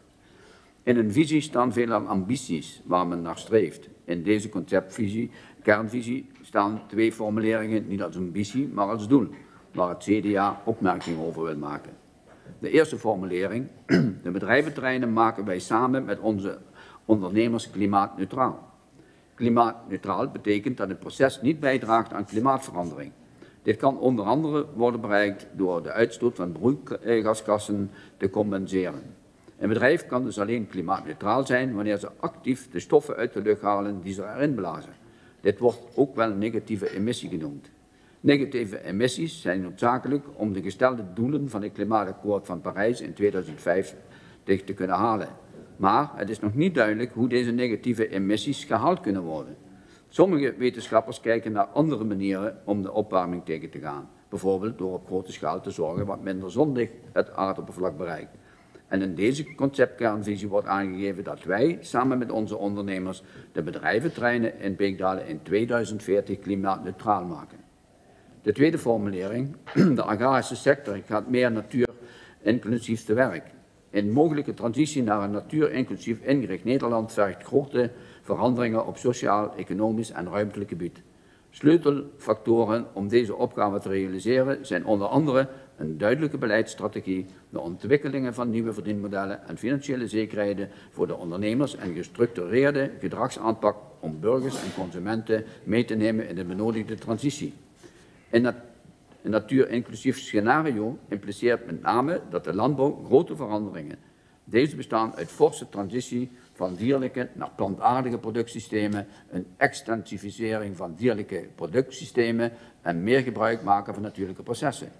Een natuurinclusieve inrichting van Nederland kan een belangrijke bijdrage leveren aan het realiseren van actuele maatschappelijke opgaven. Deze klimaatmitigatie en eh, adaptatie drinkwaterkwaliteit, eh, biodiversiteitsherstel en een gezonde leefomgeving. Dit concluderen PPL en WUR in het rapport Natuurverkenning 2050, scenario Natuur Inclusief. Het is de eerste keer dat de effecten van natuur inclusief toekomstbeeld richting 2050 zijn doorgerekend en gekwantificeerd. In die agenda wordt dit gedaan met tien domeinen. Bouw, energie, financiële sector, gezondheid, infrastructuur, landbouw, onderwijs, vrije tijdseconomie, water- en bedrijventerreinen. Dus niet alleen met de agrarische sector. Door als raad zich nu al vast te leggen aan genoemde doelen en die al in 2000 eh, te moeten eh, halen, zonder de juiste gevolgen daarvan te kunnen overzien, is voor het CDA te vergaand. Het CDA vraagt dat met deze opmerkingen in deze kernvisie rekening gehouden wordt in het verder verloop om te komen tot het ontwerp omgevingsvisie. Voor zover eerste termijn. Dank u wel, eh, de heer Fransen namens de fractie van het CDA. De heer Kokkelkool. Ja, dank u wel, voorzitter. Um, vooropgesteld, uh, wij hebben als raad aangegeven dat we deze kernvisie uh, wensen te ontvangen. Hè? Echter met de wetenschap dat we nu ook uh, de strategische visie gaan herzien, denk ik wel dat we de lering uit moeten trekken naar de toekomst toe, dat als we zo'n kernvisie opstellen, wat het eigenlijk na de herziening van de strategische visie doen, omdat we daar gewoon al heel veel informatie ophalen bij die herziening van de, strategische visie. Um, maar inhoudelijk, uh, wij hebben ook in commissieverband aangegeven dat wij um, graag zien dat er meer gekozen, er wordt nu gekozen voor uh, woningaanbod in te zetten op het aantrekken van jonge gezinnen. En wij missen hierbij de mogelijkheid voor onze eigen inwoners om een eigen kern te blijven wonen. En ik zag vandaag op een, een of andere nieuwssite ook voorbij komen dat zelfs Johan Remkes die kritiek uit op het woningplan van minister De Jonge. Dus het wordt ook gedeeld door politici de landen. En ja, bij die agrariërs um, geeft u aan dat wij uh, helpen bij het ontwikkelen van nieuwe verdienmodellen. En wij zijn stellig van mening dat dat niet de taak is van de gemeente. Wij zijn wel van mening dat daar wel nodig dat wij die agrariërs moeten faciliteren. En als dat daar bedoeld wordt, dan is dat wat ons betreft prima. Um, maar het kan niet zo zijn dat wij uh, die agrariërs uh, echt gaan helpen bij het ontwikkelen van nieuwe verdienmodellen. Als u dat kan verduidelijken, dan uh, kijken wij straks met belangstelling uit naar de ontwerp-omgevingsvisie. Dank u wel, de heer Pieper. Uh, ja, meneer de voorzitter. Het gaat vandaag over de kernvisie Beekdalen, een document dat bepalend is voor de invulling van de concept-omgevingsvisie en op die manier bepalend voor de toekomstige inrichting van de fysieke leefomgeving. De kernvisie geeft richting, focus en de planning aan in zaken wonen, werken, mobiliteit, gezondheid en duurzaamheid. Er is een uitgebreid participatietraject doorlopen alvorens de kernvisie Beekdalen is opgesteld. De raad, het college, ambtenaren, inwoners, ondernemers, ketenpartners, scholieren en overheidsorganisaties hebben input gegeven. Oorspronkelijk werd gevraagd om de kernvisie te omarmen. Gezien de importantie van het document en de uitgebreide participatie leek het mij inderdaad correct om de raad in stelling te brengen. Omarmen is immers een variant van instemmen met. Het wordt dan ook het document van de raad die er ook op aangesproken kan worden. Omarmen is echter veranderd in kennisnemen van. Hiervan zou je kunnen zeggen, fijn, ik heb het gelezen, we gaan er als raad verder niet over, over tot de orde van de dag. Echter, in het raadsvoorstel staat nog steeds onder argumenten, en ik citeer, de kernvisie vormt een belangrijke basis voor de ontwerpomgevingsvisie.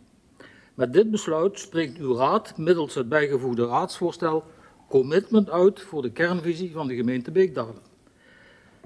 Met dit commitment kan de werkgroep omgevingsvisie aan de slag met het opstellen van de ontwerp-omgevingsvisie. Dus u vraagt toch commitment van ons. Vandaar dat de vernieuwingsgroep toch wil ingaan op de inhoud van de kernvisie. In zijn algemeenheid kunnen we de kernvisie omarmen. Op twee punten willen we toch nader ingaan. Het eerste punt betreft een passage op bladzijde 3. En daar staat er is aandacht voor overlast door eh, Maastricht-Agen Airport en de militaire NAVO-basis Geilenkirchen. Wij hadden daar graag gelezen, we spannen ons in om de overlast door Maastricht-Agen Airport en de militaire NAVO-basis in Geilenkirchen terug te dringen. Dit komt voor met beleidskader AWACS vastgesteld op 8 oktober 2019. We vragen een toezegging van de wethouder dat hij in de ontwerpomgevingsvisie het vrijblijvende aandacht voor invult als inspannen om terug te dringen. Tweede punt betreft de passage op bladzijde 2. Beekdal is een gemeente waar je als jong gezin graag wilt wonen. Zouden wij willen veranderen of zouden wij willen lezen als Beekdalen is een gemeente waar je ook als jong gezin graag wilt wonen. In het verlengde hiervan zou de passage in Beekdalen zetten we in op het aantrekken van jonge gezinnen en de woonvoorraad stemmen we hierop af moeten luiden. In Beekdalen zetten we ook in op het aantrekken van jonge gezinnen en de woonvoorraad stemmen wij mede af, hier mede op af. En dit in aansluiting bij de woonvisie Beekdalen 2023-2028, die wij op, uh, eens even kijken, op 23 mei 2023 hebben vastgesteld. En die woonvisie luidt kansrijk wonen voor iedereen. En de titel zegt het al, voor iedereen, voor jong en oud. Het klopt dat in die woonvisie aandacht wordt gevraagd voor het behouden en aantrekken van jongeren. En strikt genomen spreekt die woonvisie niet over jonge gezinnen, maar over jongeren. Maar er wordt ook ingezet op nultreden woningen in de nabijheid van voorzieningen. Dit in verband met de vergrijzing. Als de wethouder kan toezeggen dat in de ontwerpomgevingsvisie evenzeer aandacht is voor de groep ouderen, dan kunnen we ook op dit punt tevreden zijn. En misschien mag ik nog eventjes reageren op de heer Fransen. Wat de vernemersgroep betreft, wij zijn wel voorstander van een natuur-inclusieve landbouw. Dank u wel. Geef het woord aan de heer Collie.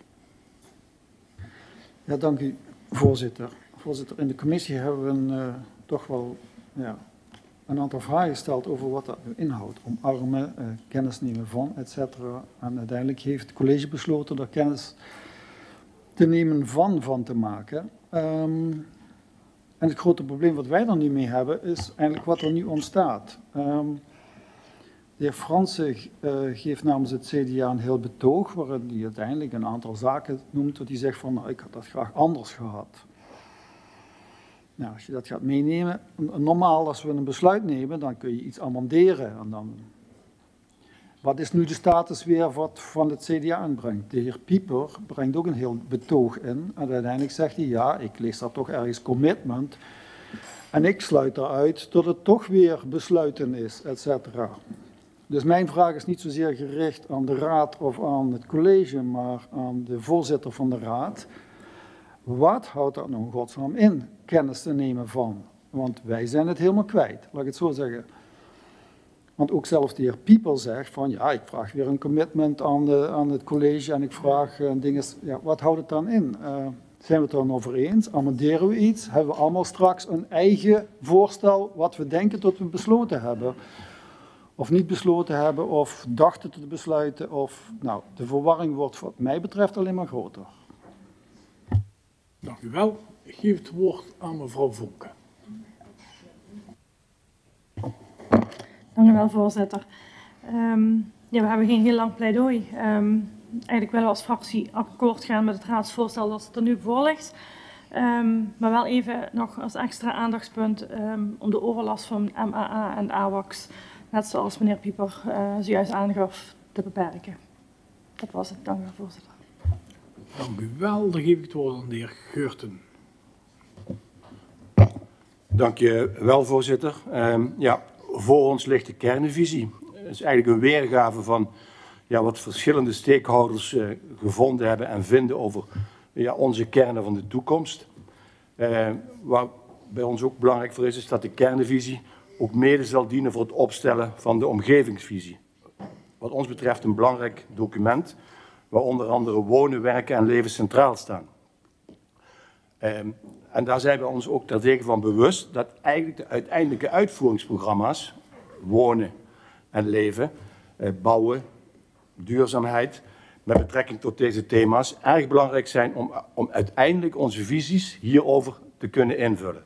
Echter samenvattend kunnen wij als Beekdag lokaal akkoord gaan met de voorliggende kernvisie. Dank u wel. Dank u wel, de heer Pansers. Ja, dank u wel, voorzitter. Voorzitter, eh, aan het begin van de avond hebben we de twee dames van de, rondom de jongerencampagne Hesbeck Vertel. Hebben we hun het woord horen doen. En waarbij ze zeiden, ja, we willen meepraten, we willen, willen meedenken. Participatie noemen we dat. En ik begrijp niet goed wat hier vanavond gebeurt en zeker niet wat in de commissievergadering geprobeerd is om geforceerd er doorheen te krijgen. Terugkijkend naar het proces wil ik ook beginnen met zowel de wethouder als de ambtenaar te bedanken voor de wijze waarop zij dit hebben opgepakt, de energie die erin gestoken is. En ik kan me voorstellen dat er ook momenten zijn geweest waarop u gedacht heeft van hoe moeten we verder. Dat zie je ook als je ziet op welke wijze u gekozen heeft om stand komen van de visie uh, invulling te geven. U hebt geluisterd, u hebt dingen opgepakt en nu komt die. Daar hebben 2000, ik kan er best een paar honderd vergissen, 2000 uh, reacties hebt u gehad. U gaat dingen vragen, op sommige heeft de heer Pieper gegeven, u bent bijna overal geweest. En dan krijgt u reacties. En ook de politiek, ook de partijen zoals we hier zitten, hebben allemaal reacties kunnen geven. Met mooie kleurtjes werd aangegeven en en en. En dan geven we het vertrouwen aan de wethouder en aan de ambtenaar. En zeggen, maak nu van dat alles wat je gekregen hebt, maak daar eens wat van. Maak daar nou eens een concept van. Zodat we dat straks kunnen gebruiken bij de conceptomgevingsvisie.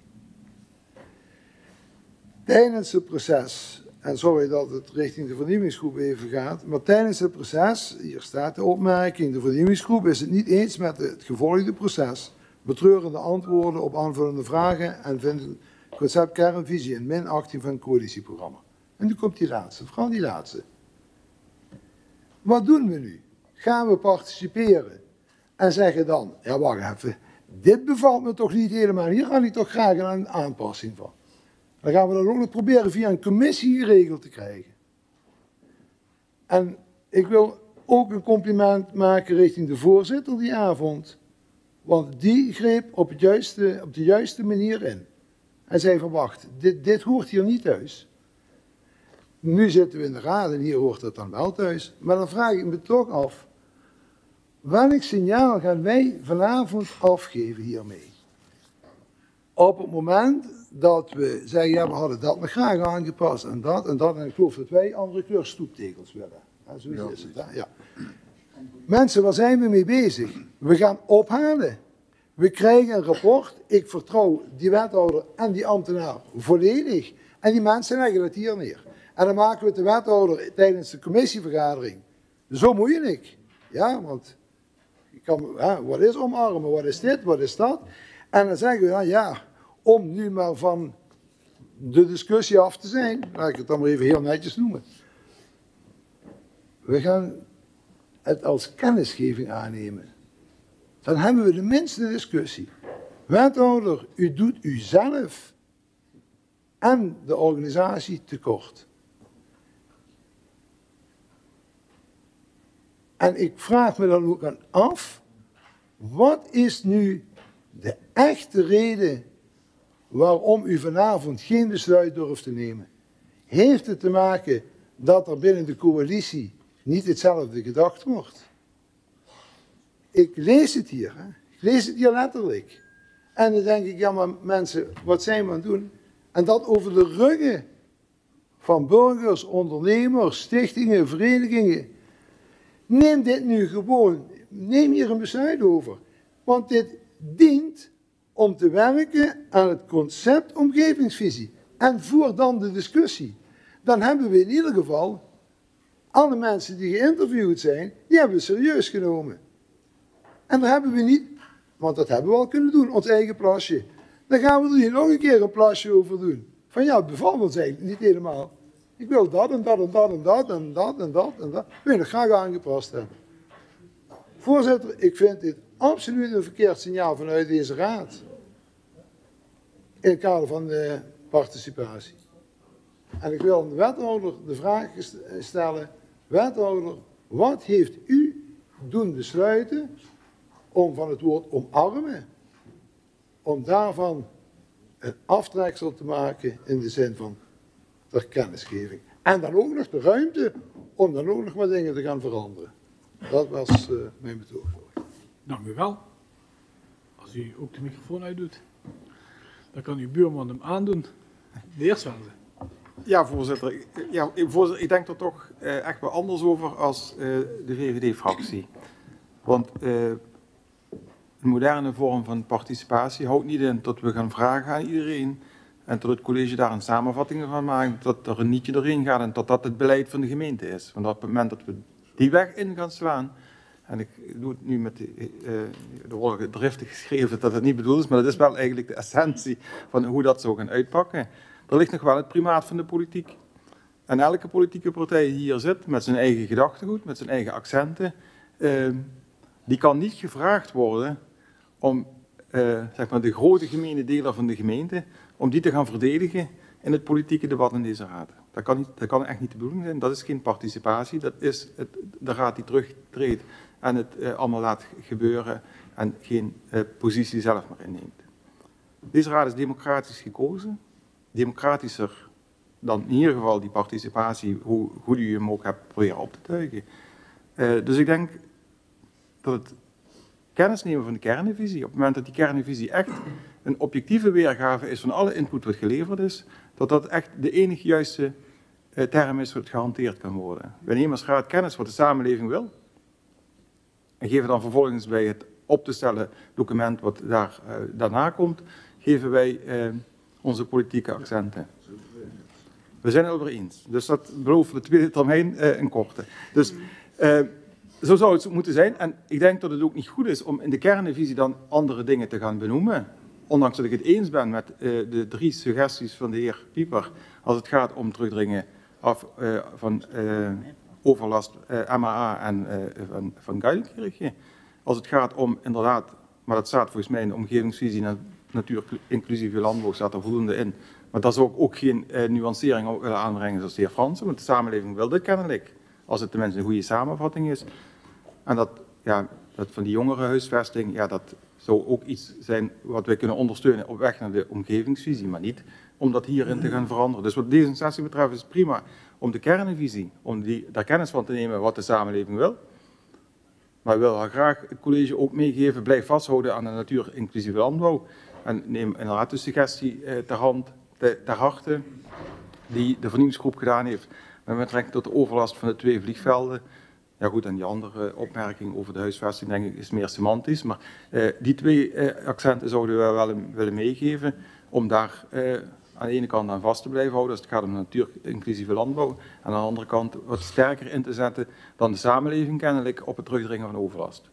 Dus akkoord met het voorstel. En ik denk dat overigens dat we het raadsvoorstel vaststellen, het voorstel en niet de toelichting die nog verhaspeld in, de oude, in het oude stramien van het omarmen eh, gemaakt is. Die, dus ik denk niet dat we ons ergens aan committeren met dit voorstel. Want we stellen het voorstel vast en niet de toelichting. En dat hoor ik wel nog graag van het college of dat inderdaad zo is. Tot zover. Dank u wel. Dan geef ik het woord aan de wethouder. Ja, voorzitter, dank u wel. Um, nou, laat ik toch even, even een stuk bij, bij het begin beginnen. Wat, wat hier voor ligt is, is hetgene wat we opgehaald hebben. Dat ga ik niet nog een keer herhalen. Daar hebben heel veel mensen aan meegewerkt. En ik denk ook dat je er recht aan doet dat je dat serieus neemt. En zeker als je denkt hoeveel tijd mensen daar ook ingestoken hebben, vrijwillig. En dan mee te denken met ons, hoe ziet onze gemeente er in 2040 uit? En in, de, datzelfde traject veranderen ook weer heel veel dingen. Dat, dat gebeurt ook. Uh, ik, ik, ga toch even terug naar omarmen, uh, kennis nemen van of instemmen, want dat was de discussie in de commissievergadering. Er is een opmerking gemaakt van omarmen, dat kan niet, hè, dat kun je niet besluiten. En dat, dat hebben we ook laten uitzoeken, dat is ook juist. Uh, dat heeft ons ertoe gebracht, waarom gaan we dan instemmen? Vragen of gaan we uh, vragen om kennis te nemen van. We hebben voor het laatste juist gekozen, omdat dat um, eigenlijk ook het meest voor de hand liggende is. En ze, en um, de heer Pansens hebben dat inmiddels ook al een beetje toegelicht. je hebt opgehaald, dat ga je straks vertalen in een ontwerp, concept, conceptontwerp, omgevingsvisie. En daarvan, en dan we toch ook bij de heer Smelsen terug, dan kan en moet en mag de politiek wat van vinden. Want u bent degene als raad die dit gaat vaststellen. Het is overigens ook verplicht door, dat u dat gaat vaststellen. Dat heeft de wet zo bepaald. Dus dat misschien, ja, ik hoop dat dat de toelichting is, ook, ook zoals de heer Collet dat vroeg. Ik vroeg het wel aan de, aan, de, aan de voorzitter, maar misschien is dit antwoord ook al voor u voldoende. Um, in ieder geval dank voor het compliment uh, vanaf de VVD gezien uit. En u refereert het coalitieprogramma, strategische visie. Daar uh, refereerde de PvdA nu even aan. Ik wil dat even bij elkaar brengen, want um, er is eerder ook al eens een keer gezegd van wanneer landen die visies nou eens een keer in elkaar. Hè? Visie wonen, visie dit, visie dat. En daar heeft u ook wel gelijk in. Alleen je moet wel eens een keer ergens beginnen. Nou, Woonvisie heeft u vastgesteld. Strategische visie is volgende week of zelfs morgen weer een bijeenkomst over. Uh, dit is uh, um, het, uh, de aanloop naar de, um, het concept omgevingsvisie.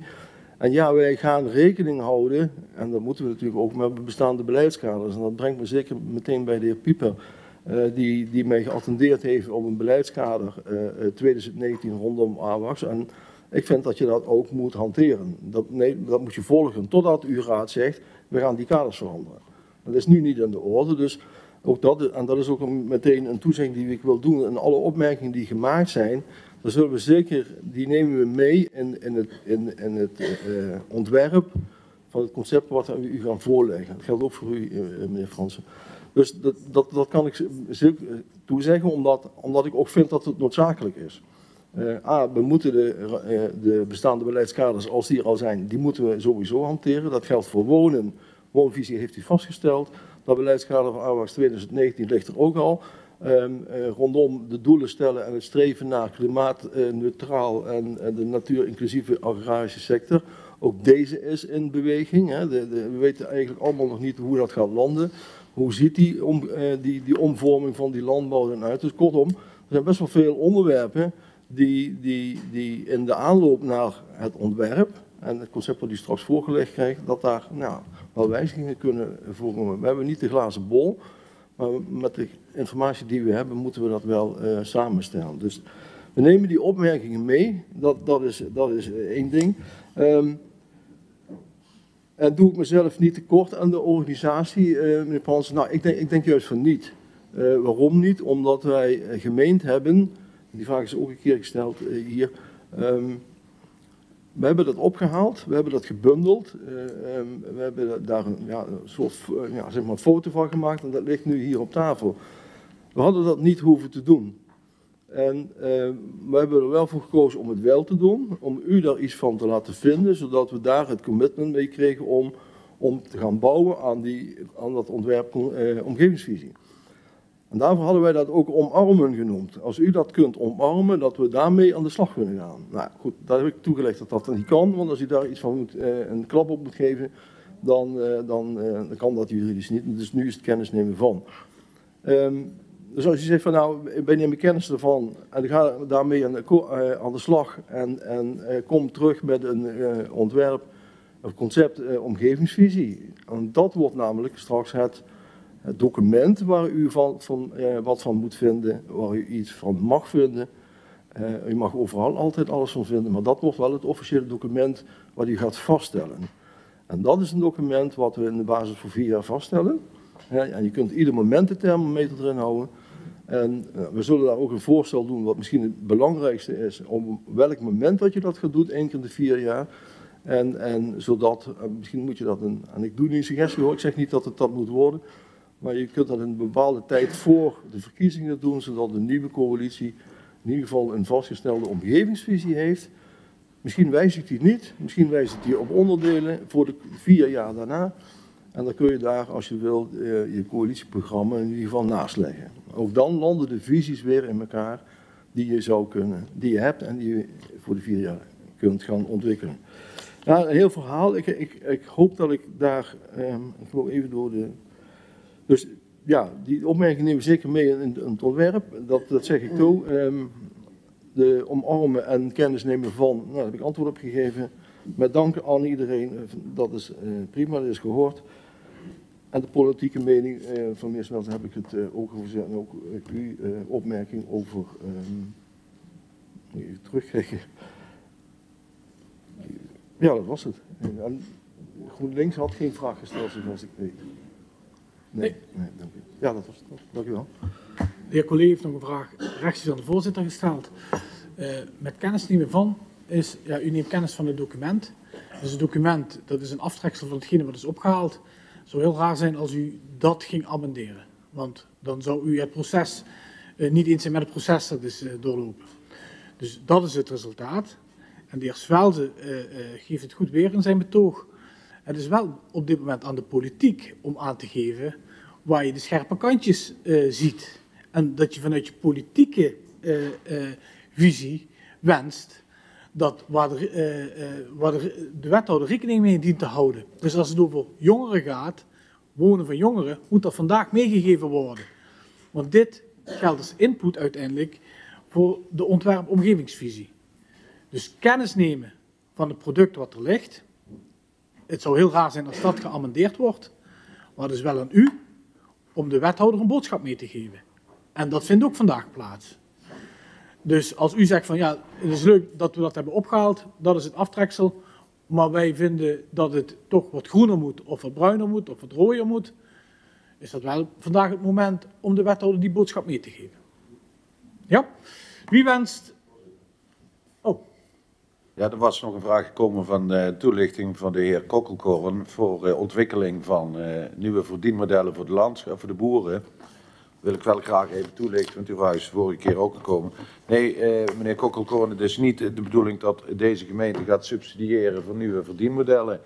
Maar u moet het zo zien, als er nu bijvoorbeeld een boer is en die wil stoppen en die wil een camping beginnen op zijn locatie, dan kom je te, krijg je te maken met bestemmingsplanwijzigingen of weet ik wat dat, dat we daarin faciliteren en samen bekijken, uiteraard met de raad, want dat heeft ook een impact op bestemmingsplannen. Dat bedoelen we met die ontwikkeling van nieuwe verdienmodellen. Dus niet een subsidiepotje en ga, eh, ga, gaat, de, gaat keer eh, boeren, nee dat is niet de bedoeling, maar wel samen kijken. Kun je een zorgboerderij van maken, et cetera, et cetera, waardoor we de veestapel zouden kunnen verkleinen, extensiever landbouw. Dat bedoelen we met ontwikkelen van nieuwe verdienmodellen. Dat wilde ik even toelichten. Dank u wel, ik had dat eh, niet genoteerd. Eh, ik kijk rond. Wie wenst het woord voor de tweede tijd? De heer Pansters, de heer Pieper, de heer Fransen, de heer Collet. De heer Collet. Ja, dank u voorzitter. Ja, voorzitter, dank u voor de heldere toelichting en ook de wethouder van alles. Uh, wat wij nu aan u nog willen meegeven is het volgende, dat wij erg blij zijn op de manier waarop het hele proces doorlopen is. En we onder, ook onderkennen de hoeveelheid werk die erin gestoken is. Maar we blij zijn ook inderdaad dat het op deze manier heeft plaatsgevonden. En wij wachten de omgevingsvisie met spanning af. Dank u wel. De heer Fransen. Ja, meneer de voorzitter. Kennelijk uh, uh, heeft ons betoog enige uitleg verder nodig. Het uh, betoog is dat we niet tegen deze visie zijn, maar waar het om gaat is dat er twee doelen genoemd zijn wat we in 2040 zullen moeten bereiken. Want er staat gewoon dat dat doel bereikt gaat worden, klimaatneutraal. En er staat dat we de agrarische sector nog meer nu natuurinclusief werken gaan brengen en dat dat in 2040 bereikt is dan normaal is in een visie een ambitie om te streven naar om een dergelijk doel te behalen. Maar hier staat het dat het doel is en niet dat we daarheen streven. En als we dat als doel neerzetten, betekent dus ook dat we het moeten halen. We weten niet wat klimaatneutraal in die tijd en wat het allemaal brengt en allemaal gaat uh, kosten, et cetera, et cetera. En het tweede punt is, als we gaan kijken naar natuur inclusief, is het hetzelfde. Er is op dit moment net een rapport uit, wat een klein beetje inhoud geeft aan wat daaronder verstaan wordt. En als we naar gaan kijken, als we naar de landbouw kijken, dat deze bestaan uit forse transitie van dierlijke naar plantaardige productiesystemen, een extensivisering van dierlijke productiesystemen en meer gebruik maken van natuurlijke processen inhoudt, dan weten wij niet hoe ver dit gaat reiken in onze gemeente Beekdalen, waar we al in 2040 deze doelen willen halen, terwijl uh, overige Nederland dat in 2050 uh, het boek heeft staan. Dus uh, het gaat er ons om, om niet tegen deze uh, visie te zijn, maar het gaat er ons om dat het doel eigenlijk omgezet zou moeten worden naar streven naar, waar daar we armslag krijgen en dat we dan niet daar verplicht zijn om daar in die tijd aan te voldoen. En ik zou dan graag toch ook aan de heer Pieper en ook aan de heer Zwelze eigenlijk willen vragen wat hun verstaan onder natuur-inclusieve landbouw. Want daar is namelijk het cruciale punt, wat valt daaronder? Dank u wel. Ik geef het woord aan de... Had je een interruptie, de heer Zwelze? Heb ik dat gemist? Ik heb geen tweede termijn gevraagd, omdat ik die vraag niet had zien aankomen. Dus ik doe wel een tweede termijn.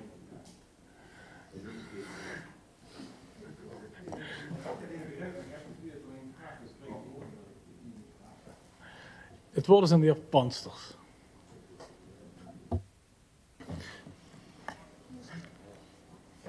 Ja, voorzitter. Um, ik was het meer met de wethouder eens dan met de voorzitter. De wethouder heeft uh, getracht, en daar kun je iets van vinden, maar dat is niet zo belangrijk vanavond, heeft getracht waarom het omarmen is, is, is, is omgezet in kennis nemen van. En dat leidt dan verder niet tot uh, het besluit. Daar ga ik nog daar ga ik mee. Ik begrijp dat de heer uh, Pieper ten opzichte van hetgeen wat hij aangaf dat hij van plan was te gaan doen, tijdens de commissievergadering dat hij geen amendementen gaat indienen. Dus dat heeft wel geholpen dat daarop gereageerd is. En ik zou eigenlijk ook aan de wethouder nu willen vragen,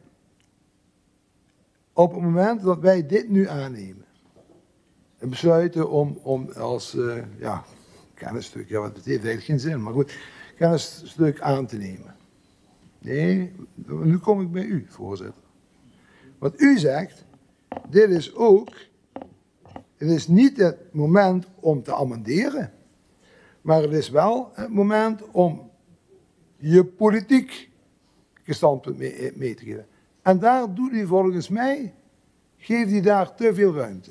Waarom? Hetgeen wat er nu ligt, daar staat, is de politiek, zowel iedere individuele politieke partij, als het college nog eens apart, ook dat is apart, hebben daar hun plasje over gedaan. En dan komt dit eruit. En dan zegt u, ja, geef nu maar mee. Waarom doet u dat? Waarom, waarom zeggen we niet, oké, je hebt nu alles. Daar waar u gedwongen bent aan beleid te houden, wethouder, is ook te begrijpen dat u dat, dat houdt, dan moet dat beleid veranderen. En kom met een concept omgevingsvisie. En laten we daar dan de discussie gaan voeren. En dat is, dat zeg ik u, dat is in ieder geval hoe de VVD er naar kijkt. De VVD accepteert hetgeen wat zich nu het laatste half jaar, drie kwart jaar ah, verzameld is en op papier is gezet. Wij accepteren dat. En zijn we het er 100% mee eens? Nee, dat bent u ook niet. Maar laten we het nu zo aannemen en zeggen, ga hiermee aan de slag, want daarom ben je toch gaan praten met die mensen. Kom strakjes met het concept omgevingsvisie. En dan doen we, en dat is ook wat u zegt, dan doen we waar we hiervoor aangenomen zijn. En dat is, oké, wij moeten nu gaan kijken in hoeverre kunnen we het eens zijn met het concept omgevingsvisie. En dan voeren we daar de discussie over. Maar laat in godsnaam die mensen die allemaal hier aan meegewerkt hebben, laat die in hun waarde. En doe niet je eigen plasje er nog eens overheen. Dank u wel, voorzitter. De heer Pieper.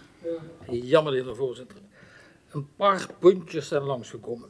Op de eerste plaats van hoe heeft zich dat proces nu voltrokken? We hebben mega veel informatie opgehaald bij allerlei groepen, personen enzovoort. Vervolgens heeft het college daar een weging en een interpretatie van gemaakt. Het is niet allemaal letterlijk zo van wat alle mensen gezegd heeft. En dat is ook goed.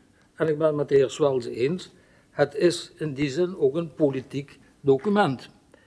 En nu is het natuurlijk niet zo dat als de vernieuwingsgroep iets wil, dat dat dit document dan gewijzigd moet worden in de richting van de nieuwe vernieuwingsgroep. Maar wat wel nodig is, denk ik, dat als wij raad, als raad bepaalde beleidskaders hebben aangenomen, dat wij niet nu een nieuwe kernvisie gaan maken die niet spoort met onze beleidskaders die wij met z'n allen hebben aangenomen. En dat waren die beleidskaders die ik noemde, de woonvisie en de beleidskaders voor AWACS. En ik denk dat dat moet sporen. Ter interruptie, voorzitter. Dat moment komt. Dat moment komt, meneer Pieper. Wacht even uw beurt af. Nee. Dat moment komt. Als het concept omgevingsvisie er ligt, krijgt u alle ruimte. Ja, maar toch niet nu? Meneer de voorzitter, van, ik ben in de commissie. Laat het even, even via mij gaan. De heer Pans heeft zijn opmerking gemaakt, maar ik zie ook een reactie van de heer Swelde. Ja, want de heer Pieper zegt dat ik heb gezegd dat het een politiek document is, maar ik denk dat ik juist het tegenovergestelde bedoeld heb. Dit is een apolitiek document. Dit is een document wat samengesteld is en wat weliswaar samengevoegd is door het college, waarbij ze wellicht wat interpretaties hebben moeten doen, wat aannames, een gemiddelde de, gemene deler uh, uit al die opvattingen halen. Maar ik heb niet gezegd dat het een politiek document is. Het politieke document komt hierna. En het is goed dat we nu input geven, maar niet gericht op het wijzigen van die uh, kernvisie. Want dat is het, naar mijn oordeel hetgeen wat we uh, aan de samenleving gevraagd hebben, aan de burgers, bedrijven, verenigingen. Daar kunnen we wel veel van vinden, maar dat moeten we niet proberen te wijzigen. Maar op het moment dat we de kernvisie uit. Ja, ik ben in de tweede termijn bezig. Maar op het moment dat we de kernvisie wijzigen eh, of eh, opwerken op, uh, naar een uh, omgevingsvisie, dan moeten de politieke accenten gezet worden. En daar zijn we het met elkaar over die accenten eens. De heer Schafraad, nee, nee, de heer Zwelse was richting de heer Pieper en de heer Pieper is nu aan het woord. De heer Pieper. Meneer de voorzitter, ik vind niet dat het zomaar een documentje is waar we kennis van nemen en dan zien we wel in de toekomst. Hè? Want we hebben mega veel mensen geïnterviewd, we hebben er hele sessies aan, aan. Dus, en ook die passage in de argumenten van het, dat wij commitment uitspreken voor dat document. Op dit moment wil ik ervoor voor waken dat in de toekomst mensen gaan zeggen: ja, maar AWACS, die hoefde daar alleen maar aandacht voor. En u bent het niet mee eens met, met hoe het college het uitwerkt. Ik denk dat de beleidskaders die wij hebben vastgesteld, dat minimaal deze beleidskaders moeten sporen met de kernvisie. En we hebben straks ook nog een strategische visie, we hebben een kernvisie, we hebben een woonvisie. En als nu in ieder beleidskader iets anders staat, ja, dan wordt de gemeente Beekdalen onbestuurbaar. De heer Swelse, ter interruptie, en de heer Schafraad, ter interruptie van zijn eigen heer Pieper. Ja, voorzitter, ja, voorzitter ik zie de kernvisie, uh, zie ik, en volgens mij is het college daar, uh, is het daarmee eens, zie ik als de visie van de kernen. En dat Zo zie ik het. Daarom nemen we ook van kennisgeving aan. Het is echt het nietje dat door uh, het college, door de ophaalinformatie vanuit de samenleving gedaan is. En als die ons niet aanstaat en die uh, opvattingen van uh, de samenleving niet sporen met onze eigen beleidsdoelstellingen, dan moeten we dat niet wijzigen in, bij, prim, bij, de, bij de initiële vastlegging van die visie. En dat is door de kernen namelijk bepaald. Uh, daar kunnen we veel van vinden en dat gaan we vinden bij de omgevingsvisie, in die volgorde. Want op het moment dat we dan denken dat die omgevingsvisie een beleidskader van de raad is, ja dan zou het college inderdaad de raad die moeten laten vastzetten. Ik denk dat die, dat die omgeving, die kernvisie geen beleidskader van de raad is, maar, de, de, zeg maar het document wat vanuit de samenleving richting de raad gestuurd wordt. En ik beschouw het niet als zomaar een documentje, want dat laat ik me niet aan praten. Wat maakt u ervan? Ik heb er geen karikatuur van gemaakt, ik wil het serieus nemen. Op het moment dat ik het er niet mee eens ben, dan wordt dat ook naar voren gebracht. Goed, de heer Schafraad. Ja, ik heb ook een vraag aan de heer Pieper. Meneer Pieper, we hebben heel veel bijeenkomsten gehad, we hebben commissievergaderingen gehad. Eh, daar hebben we heel veel gepraat. En nu zegt een deel van deze raad, eh, daar moet je niks aan veranderen. Ja, dan vraag ik me af, waarom moeten we dit stuk dan nog behandelen? De heer Pieper. Ter interruptie. Hé, hey, wacht, laat de heer Pieper eerst nog even rustig antwoorden. Wat niet? Oh, schijnbaar is uw tekst niet helemaal duidelijk. De heer Schafraad, opnieuw het woord. Ik heb aan de heer Pieper gevraagd wat hij ervan vindt. We hebben heel veel uh, zeg maar, vergaderingen gehad, ook nog een commissievergadering.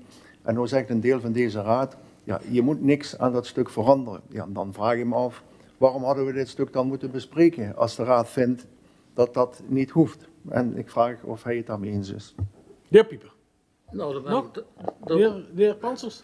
Ik dacht dat u met een flesje cola bezig was. de heer Pieper. Ja, ja, ja meneer Van de, U heeft nu echt het woord. Nee, de heer Pieper geeft van orde. Nee, nu geef ik alleen het woord. Maar de heer Pieper had geen termijn, dus je kan niet geïnterrumpeerd worden. De heer Pieper was bezig met zijn termijn. En de leek wel of de heer Zwelt zijn termijn heeft, die heeft hij nu gehad.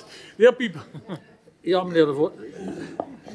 Kijk, daar ben ik het niet mee eens. Kijk, wat, wat hier nu de worsteling is, is van het ene uiterste is kennis nemen van in de zin van, zoals wij net eigenlijk bij het voorstel van Parkstad hadden we ook, kennis nemen van de, blauw, de verandering in het blauwe schema. Toch hebben we daar een hele discussie uit gevoerd over dat stukje kennis nemen van het blauwe schema, van wat er allemaal niet klopte, hoe het anders moest, hoe de wethouder zich moest gaan opstellen in Parkstad, terwijl ook alleen voorlag kennis nemen van. Dus helemaal links staat kennis nemen van als een gratuit document. Helemaal rechts staat, het is het beleidsdocument van de Raad. En ik denk dat we hier ergens tussenin zitten.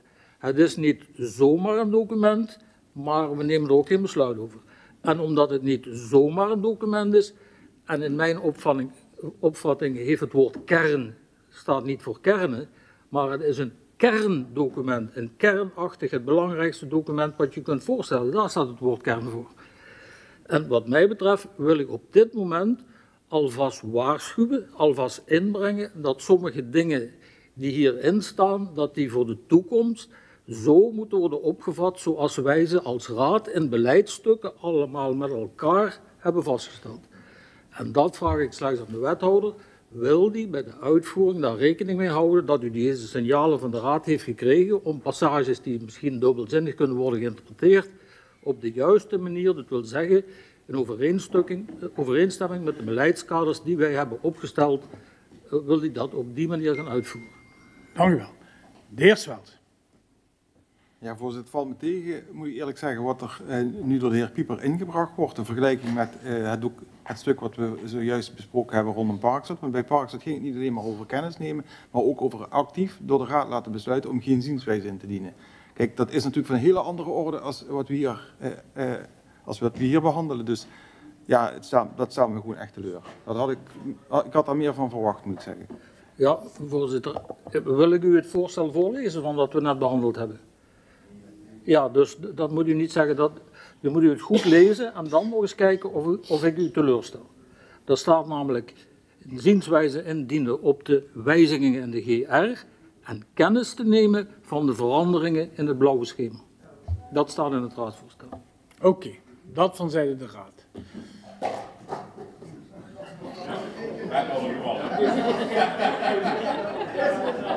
De wethouder. Dat, dat, dat was niet opzettelijk. Ja, er zijn.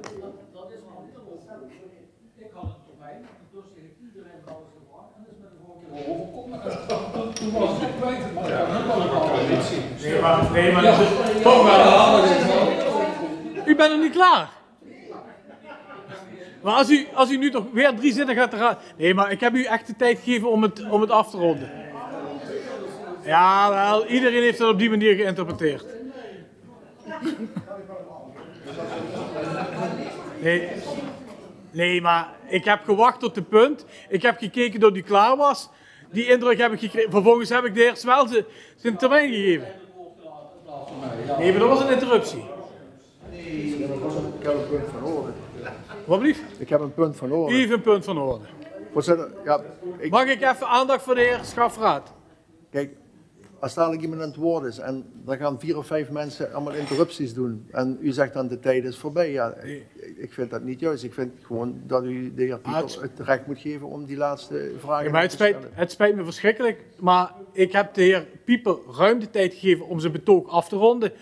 De interrupties zijn er geweest, daar heeft u ook gebruik van gemaakt. Eh, uiteindelijk ging het om een betoog en ik denk dat er ook niks meer in de tweede termijn nog extra is toe te voegen met de eerste termijn en de tweede termijn bij elkaar opgeteld. Geef het woord aan de wethouder. Meneer de voorzitter, toch bij wijze van interruptie. Ik had een vraag ook aan de heer Pieper gesteld en daar is ook geen antwoord op gekomen.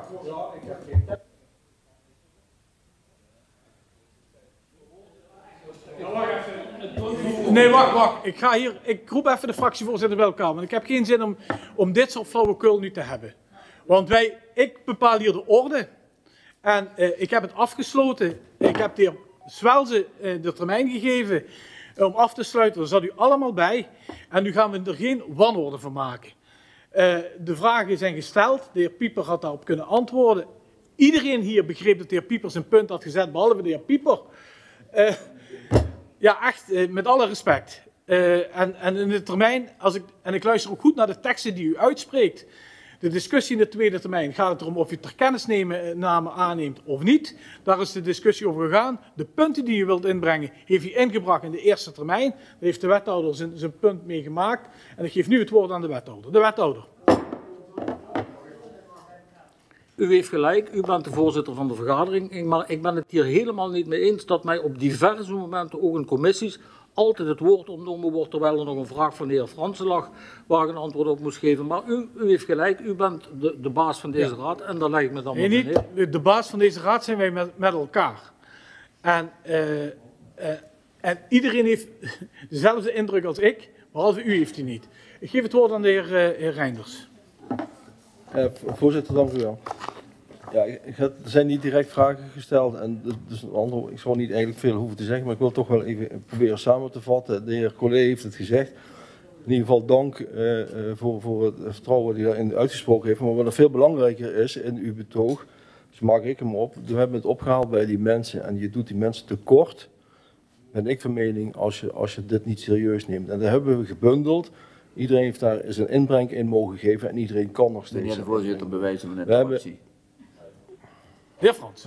Nou, de wethouder geeft hetzelfde verhaal als de heer eh, Pantsers, dat eh, de mensen tekort doen wat opgehaald is. Het gaat niet over hetgeen wat opgehaald is, het gaat over de formuleringen van de samenvatting die door het college dan wel hier aangeboden wordt.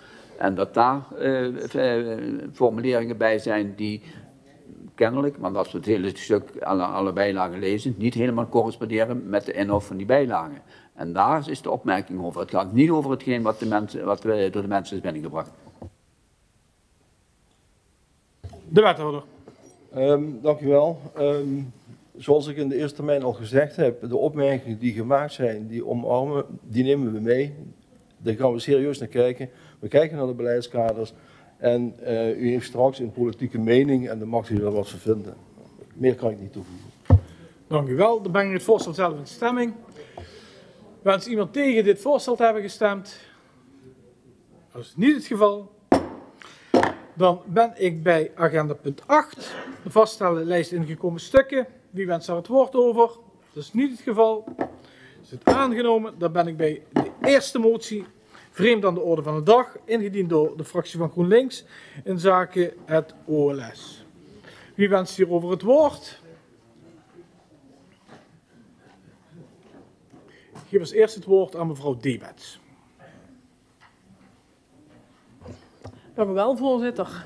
Uh, ja, we hebben inderdaad een motie uh, ingediend rondom het OLS.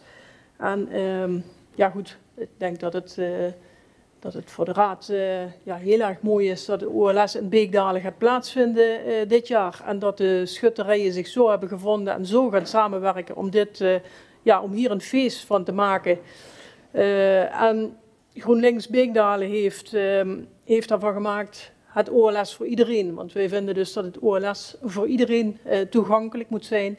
En uh, ja, ook dat duidelijk is, uh, zeg maar bij bevolkingsgroepen, wat het precies inhoudt, het OLS, de culturele achtergronden daarvan. En deze motie die is eigenlijk tweeledig. Ehm, zoals u kunt lezen, in eerste instantie gaat het om dat het financieel ja, in financieel opzicht uh, bereikbaar is voor iedereen. Uh, en het tweede is uh, om vluchtelingen te betrekken bij, bij het OLS en dan ook op te roepen om deel te nemen als vrijwilliger. dus dat staat ook in het besluit. En als u mij toestaat, dan lees ik het besluit voor. Verzoekt het college van BMW om het OLS toegankelijk te maken voor al onze inwoners. Dus ook voor inwoners met een sociaal minimuminkomen. En het tweede besluitpunt is het OLS bekend te maken bij de vluchtelingen en hen op te roepen om deel te nemen als vrijwilliger. Tot zover. Dank u wel. Dan geef ik het woord aan de heer Sturmans. Ja, voorzitter, we hebben kennis genomen van deze motie. Het klinkt heel sympathiek. Maar ik vraag me af, en dan hoor ik graag van de wethouder hoe je denkt om eh, invulling te geven aan deze motie. Want hoe selecteer je nu wie mensen met een lage beurs zijn en hoe ga je dat regelen? Krijgen die mensen een blauw bronsbandje? Gaan we, gaan we de gegevens bij de bij Kompas opvragen? Die krijg je niet, want dat mag niet in het kader van de AVG. Dus ik ben erg benieuwd hoe de wethouder daar tegenaan kijkt. Eh, het is een sympathieke motie, maar ik denk dat die onuitvoerbaar is. Tot zover in eerste termijn. Dank u wel, de Rijks. Ja, voorzitter, ik kan het niet mooier zeggen dan mijn voorganger heeft gedaan. En dat had dezelfde vraag en dezelfde opmerking, dus uh, daar sluiten we ons bij aan. De heer Jansen. Ja, dank meneer de voorzitter. De motie zoals die voorligt is, on, is ons inziens in principe heel sympathiek. Wij begrijpen alleen niet wat er gevraagd wordt in bullet 1 van de oproep. U geeft dat nader aan, maar volgens mij staat er niks van financiële vraag in, uh, in de motie. Alleen dat u oproept of de vraag stelt om toegankelijk te maken, maar niet welke middelen daarbij komen uh, of wat daarbij beschikbaar gesteld moet worden. Uh, wij denken dat de verenigingen hard aan het werk zijn om een prachtig OLS klaar te zetten en dat zij zelf het beste kunnen inschatten wat er waar nodig is. Vooral door de nauwe samenwerking met de gemeente denken wij dat ze prima kunnen aankloppen op het moment dat ze zulke initiatieven, zoals Bullet 1, noodzakelijk zien. Op deze manier hoeven we dit in de toekomst dan ook niet voor ieder cultureel evenement zo te gaan vinden als gemeenteraad. Bullet 2 van de motie om vluchtelingen uit te nodigen als vrijwilliger mee te doen aan het OLS vinden wij natuurlijk belangrijk. Maar we zien al vaak vluchtelingen betrokken worden bij activiteiten van verenigingen. Wij zien dus deze bullet als overbodig, omdat verenigingen hier zelf al mee aan de slag gaan. En wij moedigen dat aan. En wij zouden deze verenigingen die dit al doen willen complimenteren en uh, ook hopen dat in de toekomst meer verenigingen dit gaan doen. Wellicht ook bij dit OLS. Maar ik denk ook dat dit geen taak is van deze gemeente. Dank u wel. Dank u wel, de heer Schafraad. Dank u wel. Ja, voorzitter, dat zijn in principe twee verschillende moties en op zich lijkt het, uh, lijkt het ook wel sympathiek. Uh, GroenLinks gebruikt daarbij het logo van de Global Goal nummer 10 en dat is ongelijkheid verminderen. De motie en de opdracht ja, zijn erg onduidelijk geformuleerd en het lijkt er meer op om de ongelijkheid te vermeerderen in plaats van te verminderen. Daarom hebben we nog wat aanvullende vragen. Bij de eerste bullet, om het OLS toegankelijk te maken voor al onze inwoners. Volgens vraag ik me af, wat bedoelt men dan daarmee? Want het is al toegankelijk voor iedereen. En bedoeld is waarschijnlijk, maar dat vraag ik dan, iets bij te dragen. Echter, dat staat er niet. En dan de vraag aan GroenLinks is wat ze daar nou mee willen bedoelen. Is dat een gratis entreeprijs of bijvoorbeeld nog tien consumptiebonnen of, of andere dingen?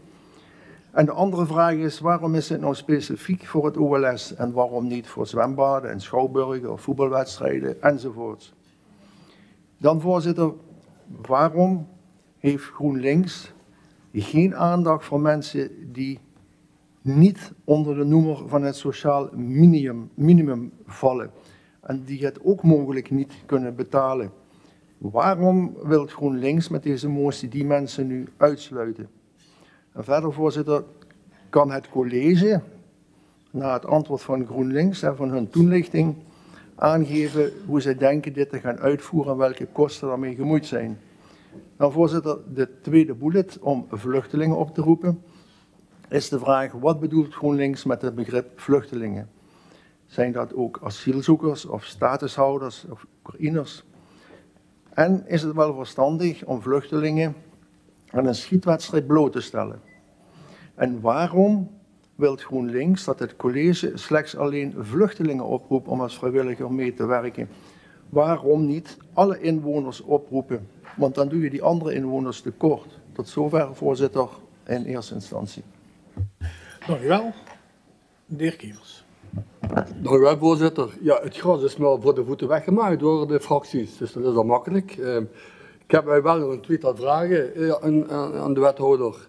Het OLS moet toegankelijk zijn voor alle inwoners van Beekda, dus ook de inwoners met een krappe beurs.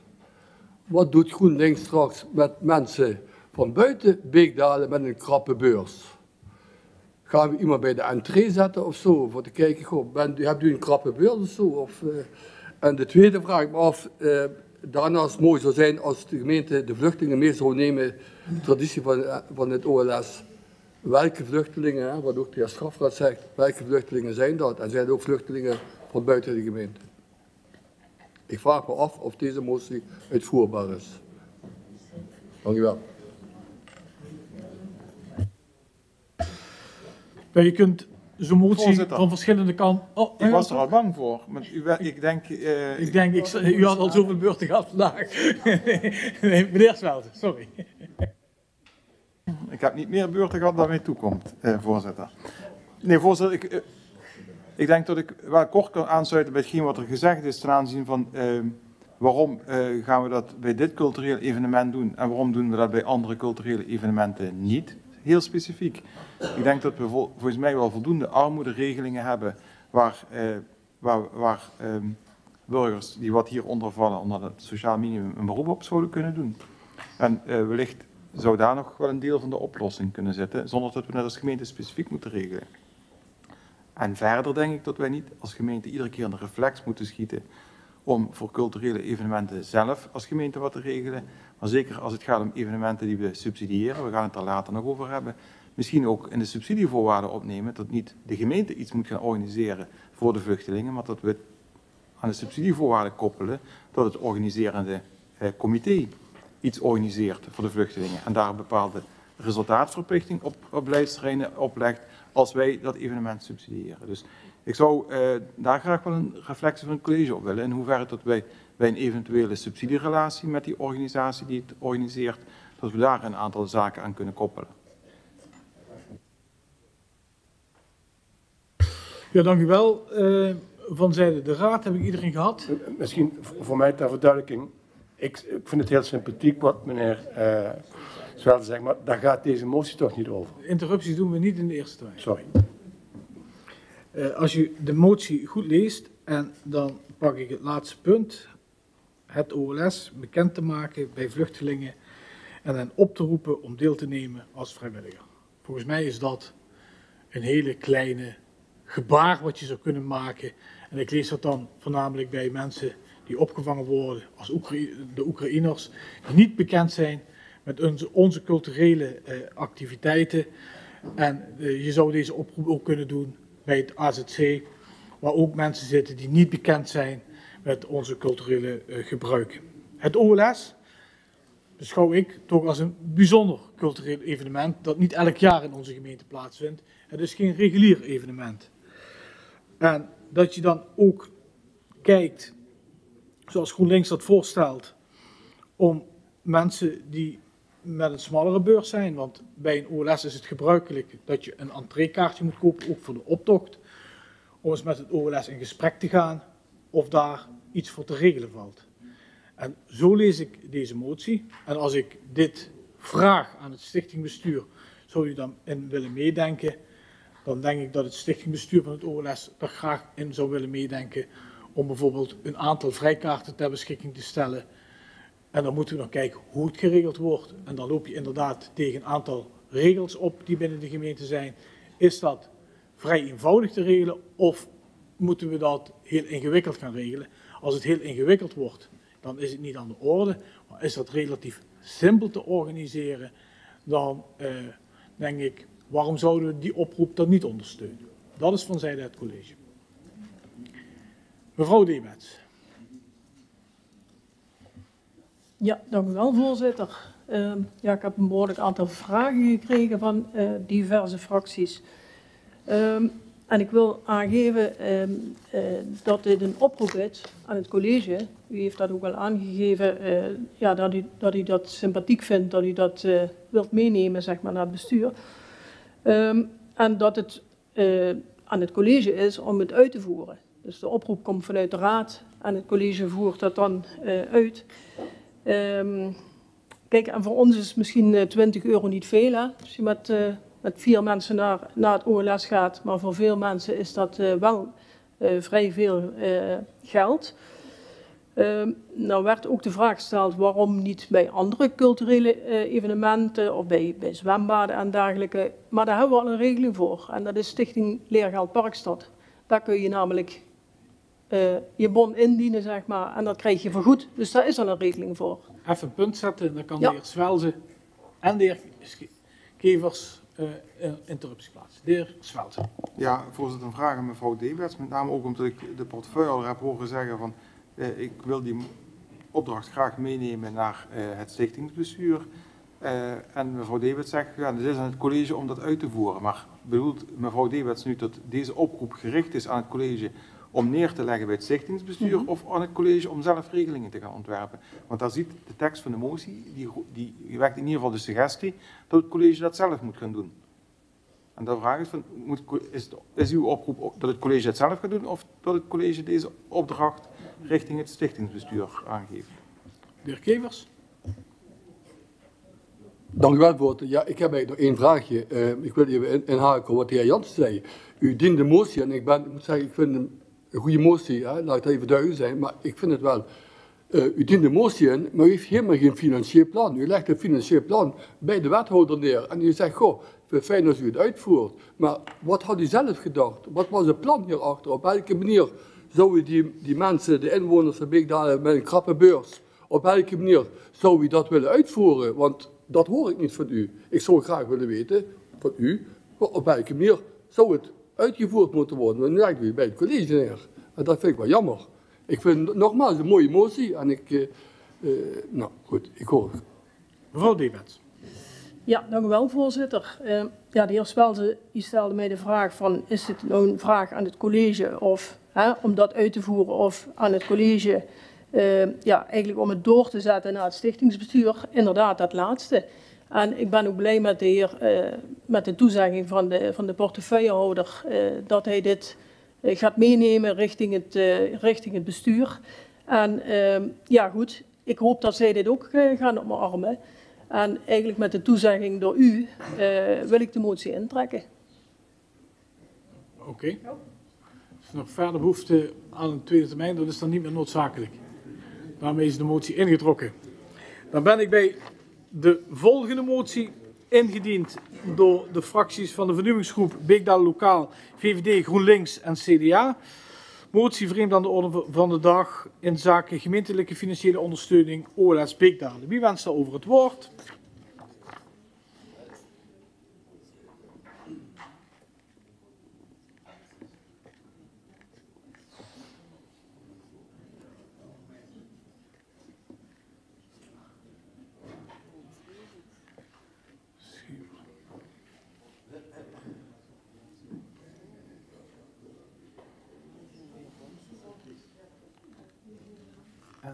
Schevers.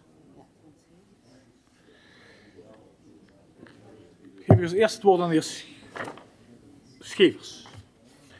Ja, dank u wel, eh, voorzitter. Eh, de motie eh, die voor is eigenlijk een uitvloeisel van datgene wat we volgens mij in december met elkaar hebben afgestemd. Want nu, ehm, ja, nu, nu is volgens mij de procedure een beetje aan de vreemde kant.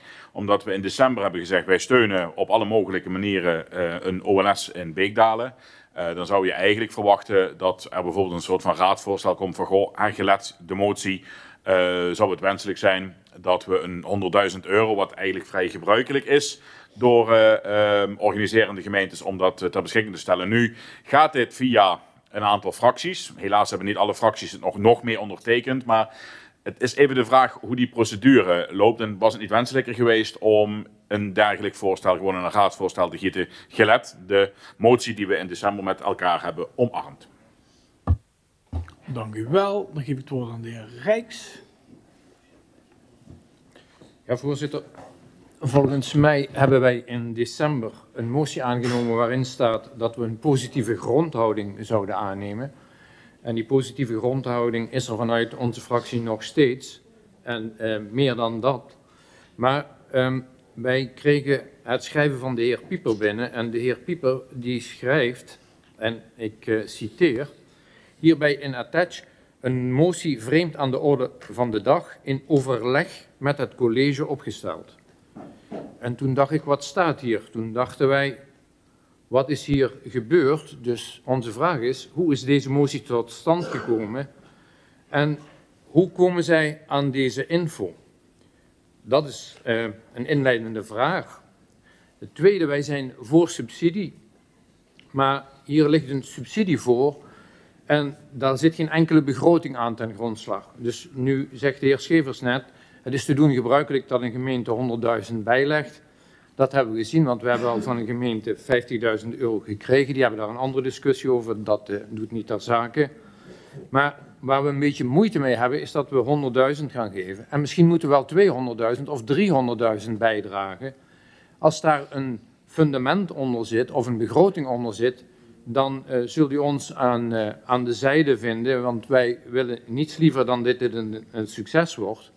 Maar niet uh, zomaar op voorhand, dat hebben we te vaak gezien, dat er gelden ter beschikking worden gesteld en vervolgens moeten maar kijken wat daaraan ten grondslag ligt. En we hebben al een aantal keren aangegeven, wij zouden niet willen dat we hier weer een salamitechniek gaan toepassen.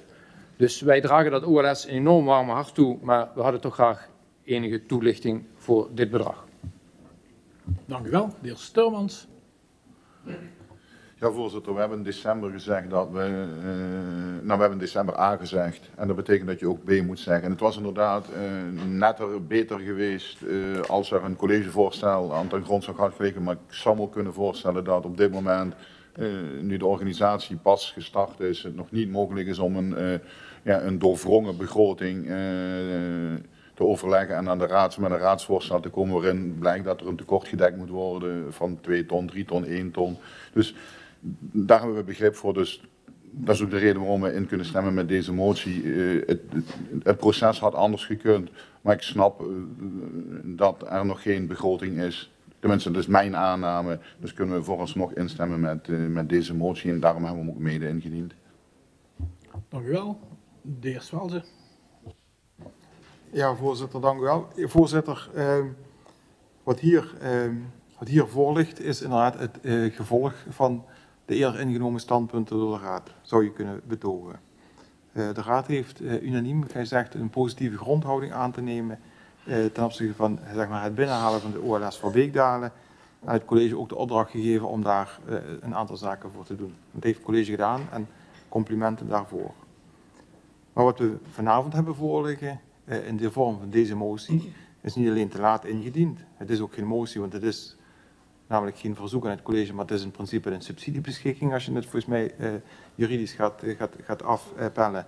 Uh, dus is, uh, zou, had het een voorstel van het college aan de raad moeten zijn, of het had in de vorm van een initiatiefvoorstel moeten, moeten gelden. Want van een motie is hier natuurlijk op geen enkele manier sprake. En op het moment dat we dit als motie gaan beschouwen richting de toekomst, uh, dan wil ik daar in de nabije toekomst nog wel een aantal keren aan refereren als D66 met voorstellen komt die niet het karakter hebben van een motie. Dus voorzitter, het is geen motie. Ehm, maar dan eh, toch ingaand op, hetgeen, op het epistel wat hier ligt, eh, kan eh, D66 aansluiten bij de fractie. Kijk, normaal gesproken is er een begroting en dan beoordeelt het college die begroting en dan doet het geeft het dan advies aan de raad eh, om dan vervolgens op basis van die begroting een subsidiebeschikking, in ieder geval een subsidiebedrag beschikbaar te stellen, waardoor het college die kan beschikken richting de organisatie. Dat is hier niet aan de orde. Eh, zonder een begroting, zonder overigens ook, want dat is iets wat mij in de voorbereiding op deze vergadering wel nog door het hoofd ging, eh, de suggestie die in de aanloop in december gewekt is, dat de provincie op alle mogelijke manieren de gemeente zal ondersteunen om het Limburgse culturele eh, hoogtepunt van het jaar, om dat overeind te houden, daar horen we niks meer van. Het is akelig stil tijdens de provincie, tenminste voor deze raad. En de vraag is in hoeverre tot de ton wat normaal gesproken door de gemeente wordt bijgedragen, in hoeverre tot de provincie zich ook nog een soort van uh, moreel verplicht voelt om ook iets te doen. Net zoals Nederweert, het college van Nederweert dat gedaan heeft. Of de raad dat allemaal gaat, nog gaat steunen, eh, dat hangt, uh, in, dat hangt, dat hangt nog wel. de vraag is dus aan het college van, ja, hoe komt dit bedrag van 100.000 euro, ook in relatie tot de provinciale toezeggingen om ook alles in het werk te stellen om het mogelijk te maken. En ehm, nu toch het OLS geagendeerd is voor deze vergadering, permitteer ik me ook de vraag te stellen eh, of het college het wijs vindt om in de governance te organiseren dat de portefeuille subsidies en cultuur en de portefeuille openbare orde en veiligheid zo dicht georganiseerd zijn, georganiseerd zijn eh, tegen het stichtingsbestuur aan, zelfs er formeel onderdeel van uitmaken. En de vraag aan het college of zij dat verstandig vindt.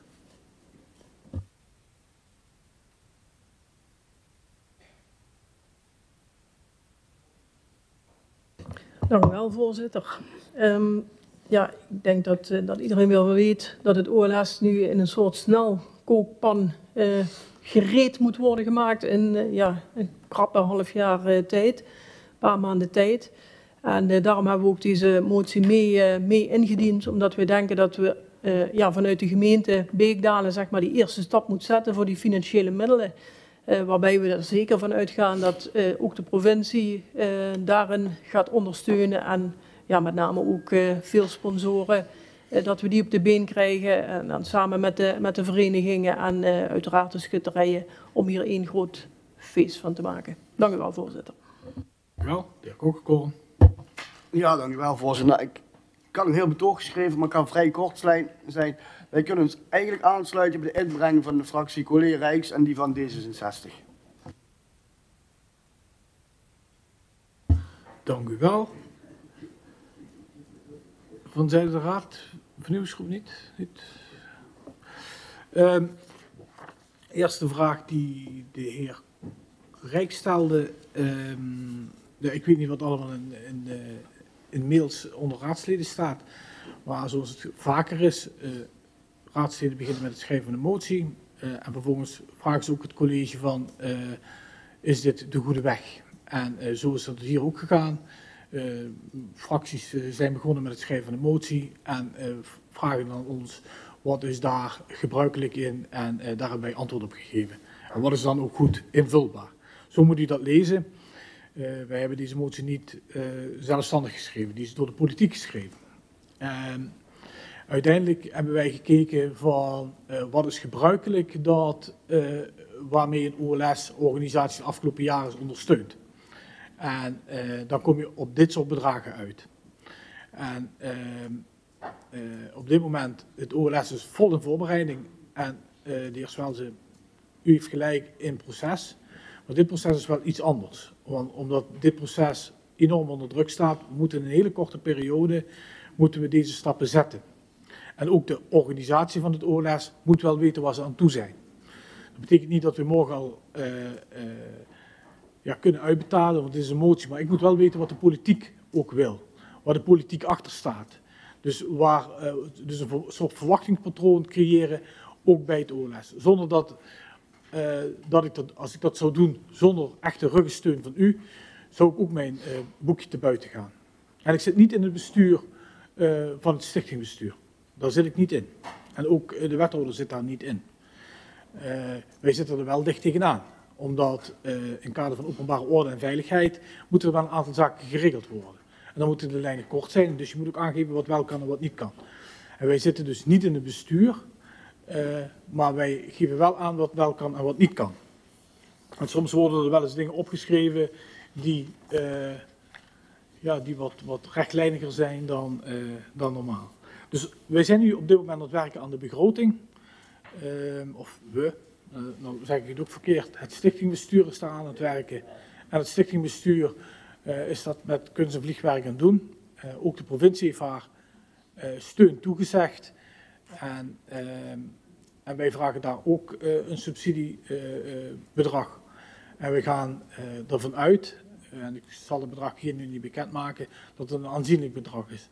Aanzienlijker dan normaliter gebruikelijk is bij bij OLS. Omdat ook de provincie Limburg begrijpt dat uh, ja, het organiseren van een OLS in een half jaar tijd een enorme inspanning is. En, en, die enorme inspanning die is ook op dit moment merkbaar in onze samenleving. Als je ziet hoeveel vrijwilligers er op dit moment betrokken zijn en zich inspannen. En ook het bedrijfsleven zich inspannen om het OLS in Beekdalen een eh, van het OLS in Beekdal een succes te maken, dan geniet ik er elke dag van. Als ik zie hoe deze mensen zich allemaal inzetten voor onze gemeenschap. En, uh, en ik ga er ook van uit dat dat OLS een succes gaat worden in Beekdalen. Maar daar hebben we ook uw steun mee nodig. En wij kunnen, uh, ja, en wij moeten daar ook als gemeente een bijdrage leveren, wat ook gebruikelijk is bij een dergelijk feest. Ben ik nog wat vergeten? Volgens mij niet. De raad voor een tweede termijn. De heer Rijks.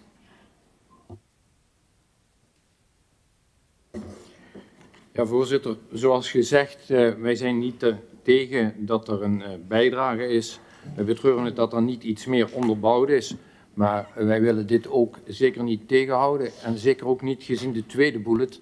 Want dat begrijpen we volledig. Hè, dat wel de het Kinger OLS, daar de basisscholen van Beekdalen aan deelnemen, dat die dat graag willen doen en dan ook daar een uh, ondersteuning voor zouden moeten krijgen. Dus dat dragen wij zeker een warm hart toe, net zoals het OLS. Vandaar ook dat wij in de basis uh, dit zullen steunen, maar um, we vinden wel dat er even in de toekomst gekeken moet worden met begrotingen als we gelden ergens aangeven. De heer Sturmans.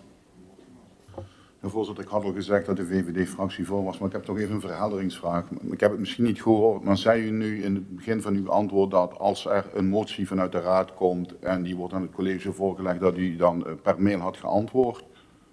Uh, en dat het college daar uh, in ieder geval over beraadslag geven en ja, daar per mail op had geantwoord. Als het antwoord daarop ja zou zijn, zou het fijn zijn als u dan ook dat e-mailbericht aan de rest van de raad uh, zou sturen. Dat is in het kader van transparantie denk ik wel, wel een stuk bevorderlijker. En niet alleen aan de indieners, aan degene die een motie zou willen indienen. Dat is wat ik, wat ik u wil meegeven. Voor de rest steunen we dit voorstel. Heer Swelten. Ja, voorzitter, wij kunnen dat voorstel niet steunen. Uh, niet in deze vorm. Uh, D66 zou wel, graag het signaal willen afgeven dat D66 het financiële tekort wat er is in de vorm van een subsidie wil dichtlopen. Maar wil niet nu op dit moment zonder een begroting, zonder te weten wat de financiële bijdrage van de provincie is, of die bijdrage vanuit Nederweert ook definitief is en dat we die ook kunnen meenemen als inkomsten in deze begroting. Wil niet zeg maar, voortborduren op de bijdrage van gemeenten, van organiserende gemeenten van de afgelopen jaren. Want dat was geen bijdrage van de gemeente die het eigenlijk had moeten organiseren aan de orde. Dat was ook geen bijdrage in die vorige OLS'en van, uh, van substantiële omvang van de provincie. Iets wat wij nu op dit moment wel verwachten, daar waar Beekdalen zijn nek heeft uitgestoken. Uh, en uh, ja, aansluitend bij de woorden van de fractie Koelie Rijks, zouden we met de tweede bullet om in ieder geval de scholen, want dat is het spoedeisende karakter op dit moment, de scholen zouden we zeker willen subsidiëren die wat, zich willen inschrijven voor het uh, kinder-OLS. met die met, met dat deel van de motie kunnen we instemmen. Waardoor het nu op deze manier zo breed getrokken is, zonder enige, zonder enige nuance en zonder enige historische context van hoe het allemaal zo gekomen is, is er geen, geen akkoord van D66 voor deze motie. Dat is helder. Ehm, de vraag van de heer Surmans. Ja, het is gebruikelijk eh, dat fracties zich bij mij melden, of bij ons melden, op moment eh, om te, even te sparren over de inhoud. En, eh, en dat is dan niet gebruikelijk om dat dan meteen openbaar te maken. En ik, zal ik denk dat, niet, dat dat ons niet ten goede komt. Want dan zal ik ook altijd verslag moeten maken van elk telefoontje dat ik krijg, van, van welke fractie dan ook. Als ze even willen sparren, vind je deze motie een goed idee? Eh, dus ja, dat gaat wat mij betreft te ver, maar ik ben er wel heel openlijk over. Op het moment dat mij wordt gevraagd welke invloed heb je gehad op de motie, zal ik daar een antwoord op geven. En dat doe ik bij deze ook. We hebben deze motie hebben we gekregen, hebben, heb ik ook even overlegd met de afdeling financiën eh, en met de afdeling om te kijken of het een goede motie is en of we daar, eh, of we daar gehoor aan kunnen geven. En dat is dan vervolgens gebeurd. De Rijks, ter interruptie.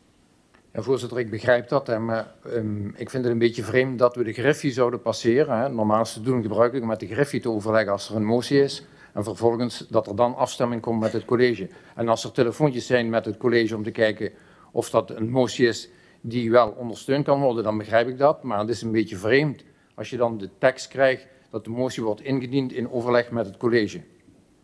Ja, ik ben niet verantwoordelijk voor die tekst, maar dat overleg, en ik ga hier niet ontkennen dat het overleg heeft plaatsgevonden. Maar eh, eh, het is ook niet zo dat het, eh, het overleg enkel is voorbehouden aan een bepaald deel van de, van de gemeenteraad. Eh, ik doe dat met elke fractie die deze vraag stelt. En, dus, en dat gebeurt ook. De heer Pieper, ter interruptie. Voorzitter, de heer Rijks die citeert nu uit een mail die hij van mij heeft gekregen. Ik vind het ook een beetje jammer. Maar hoe is dat? Heel simpel. Als ik een motie maak, dan denk ik eerst zelf goed na. Dan kijk ik van hoe hebben andere gemeentes dat gedaan. Dan zoek ik naar overwegingen. En dan denk ik, hallo, het college heeft honderden ambtenaren die veel meer informatie hebben dan ik. Ik leg het aan hun voor. Misschien staan er domme dingen in. Misschien hebben ze slimme ideeën die ik kan gebruiken. En op grond daarvan stel ik een definitieve motie op. Die heb ik naar u gestuurd met de vraag graag uw reactie. U had er alles in kunnen veranderen wat u eh, zou willen. Daar heb ik geen reactie op gekregen. Zo is het proces verlopen.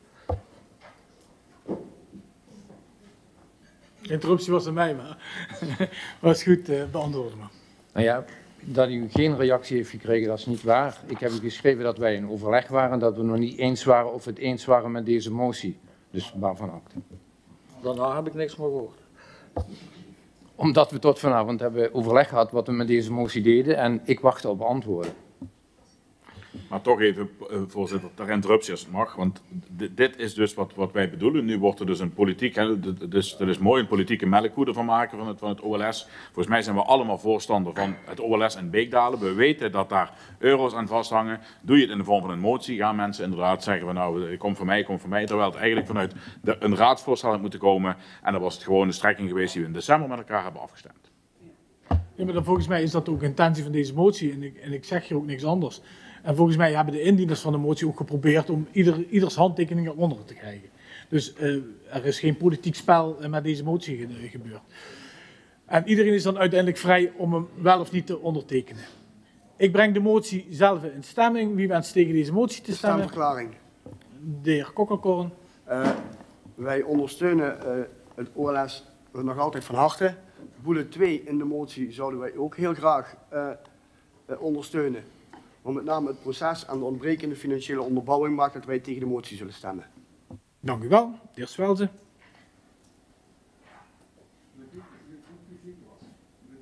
Nee, ik vroeg. eh eh, oh, geen stemverklaring. Ik dacht dat u uw vinger opstak, net zoals de heer Kokkelkorn. Dus ik mag de heer Kokkelkorn en de heer Swelze aantekenen als tegen. Daarmee is de motie aangenomen.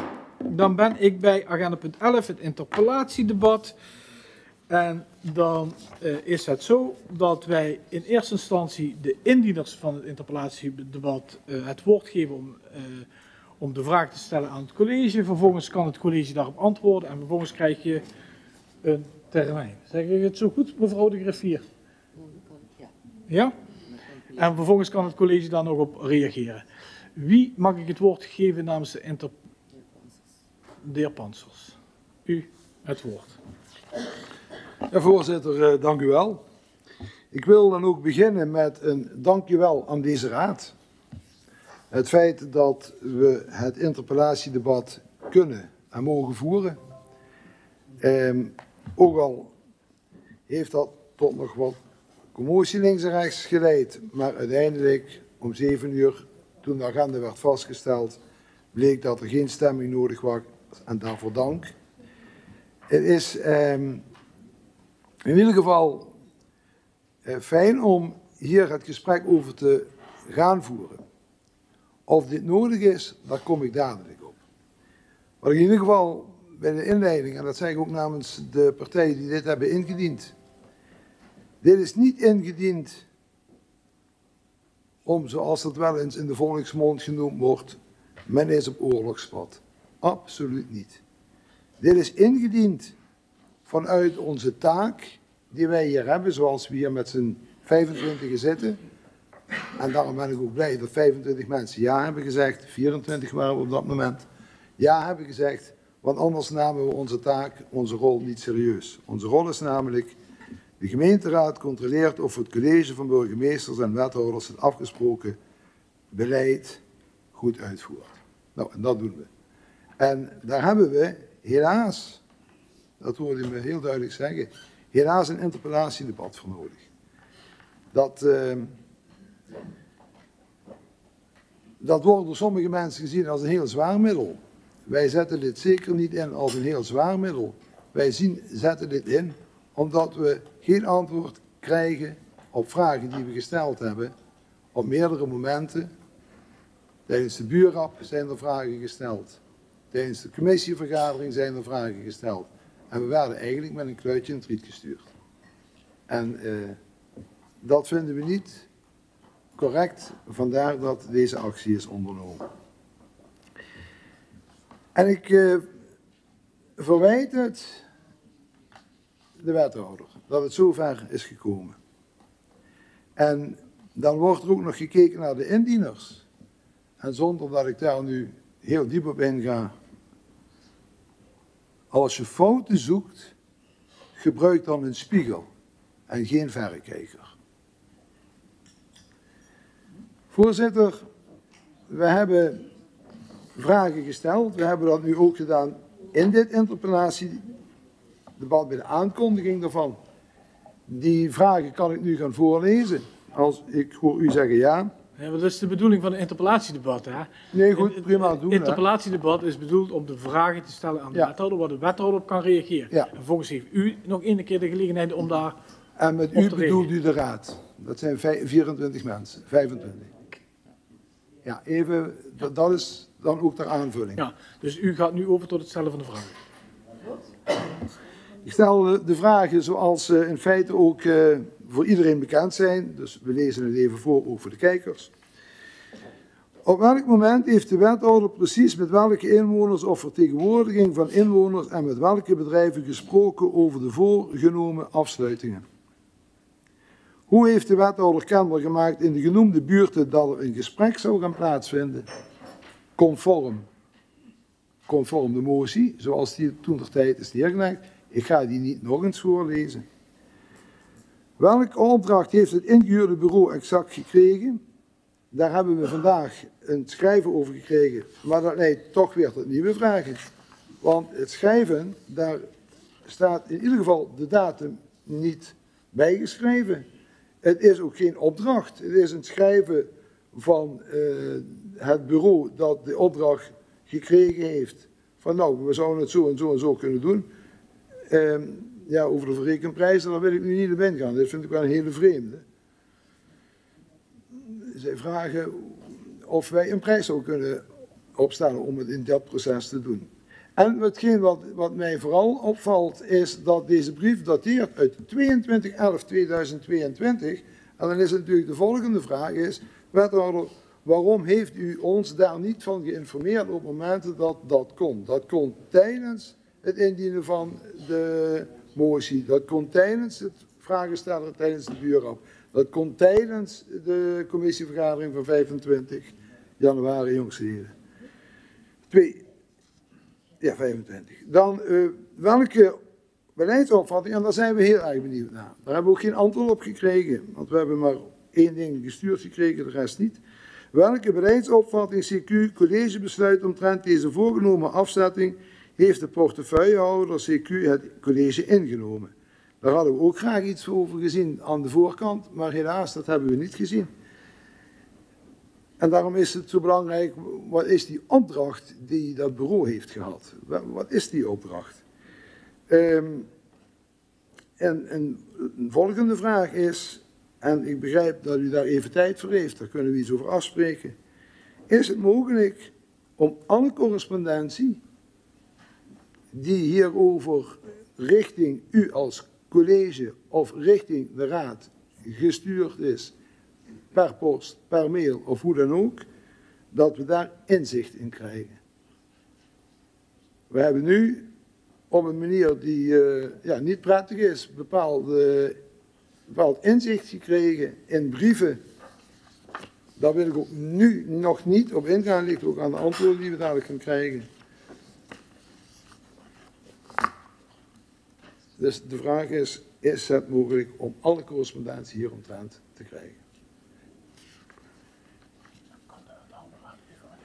En dat kunt u dan ook aangeven, ja, maar is ook gevraagd hè, rondom, de, rondom eh, de, de bijeenkomst die u dient te plannen met de verschillende wijken. Het waren geen vertegenwoordigers. Ik heb de band nog eens afgeluisterd. U gaf toen aan vertegenwoordigers. U gaf ook aan dat ik niet goed geluisterd had, maar de band was toch duidelijk het bewijs dat goed geluisterd was. Wanneer gaat u dat doen? Wanneer gaat u dat uitvoeren? Concreet, zoals we het ook gevraagd hebben. En ik wil er ook nog bij zeggen dat het niet gaat of die kamp eigenlijk wel of niet wordt afgesloten. Dan gaan we eerst voor naar de burgers en dan gaan we hier daarna kijken wat, wat we daarmee moeten.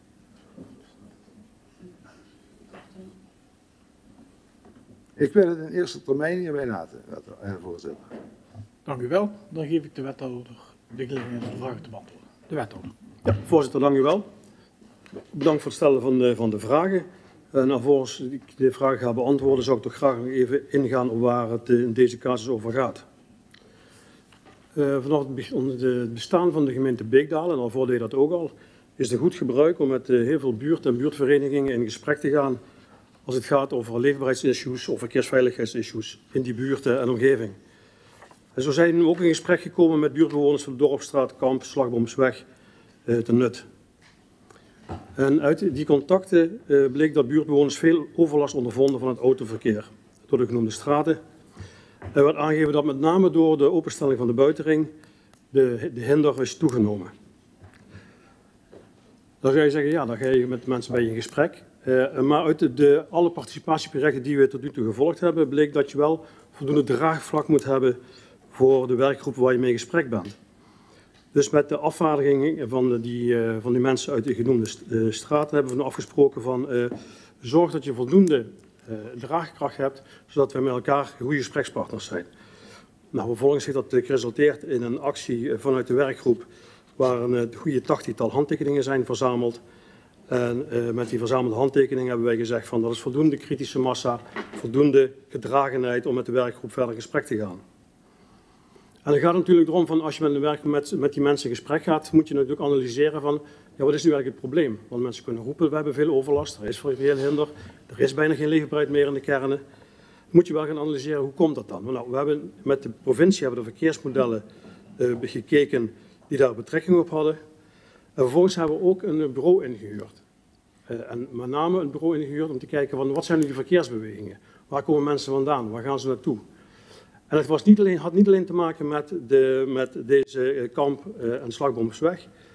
Maar het had ook te maken met de gesprekken die we hadden met Rijkswaterstaat, of hebben met Rijkswaterstaat. Als het gaat over de effecten die dadelijk gaan plaatsvinden als de viaducten boven de, gaan, gaan verdwijnen voor enige tijd. Daarvoor moeten we ook weten wat gaat nu met het verkeer gebeuren op het moment dat die brug eruit ligt. Dus dat waren twee dingen die we toen hadden meegegeven aan, die, eh, aan het adviesbureau.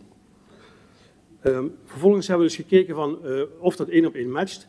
En dat blijkt uit, hè, we hebben dat in de discussie eh, al eerder gehad, dat zo'n 80% van het verkeer wat over de Daalderweg, Kamp, Slagboomsweg pakt, niet thuis eh, in de directe omgeving en inderdaad hinder veroorzaakt. Eh, en dat is voor mij ook een aanleiding, voor ons een aanleiding geweest om te gaan kijken, nou, dan gaan we het breder aanpakken.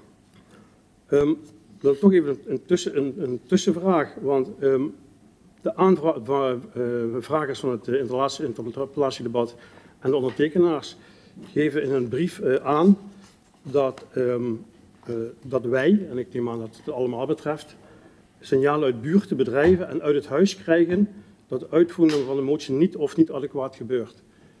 Ik had dan graag van de, van de, de fracties, VVD, Beekdaal Lokaal, PvdA, fractie Collega Rijks en D66 dan geweten waar het over gaat. Want ik heb met ambtenaren gesproken, met bijna alle ambtenaren die dat betreft. En ik, ik, ik, mensen hebben er geen actieve herinnering aan dat ze gesprekken hebben gehad of iets doorgegeven hebben die, rele- die relevant zijn voor deze, voor deze analyse. Verder had ik graag de, de, de berichten gehad over de bedrijven die wij nog niet zouden hebben aangeschreven. Want wij zijn met een aantal bedrijven in contact geweest die naar aanleiding van het persbericht van 7 november gereageerd hebben. Eh, eh, en daar hebben we ook gesprekken mee gevoerd. Dan ga ik er toch in op de antwoorden op de vragen van, eh, van de aanvragers en de ondertekenaars. De eerste vraag gaat op welke moment heeft de wethouder precies met welke inwoners of vertegenwoordigers gesproken. Dat is een, relevante opsomming heb ik daarvan voor mij. En dat is onder andere met de belangengroep bedrijven in Nut. Op 4 april 23, op 26 op mei 23, op 22 januari 24.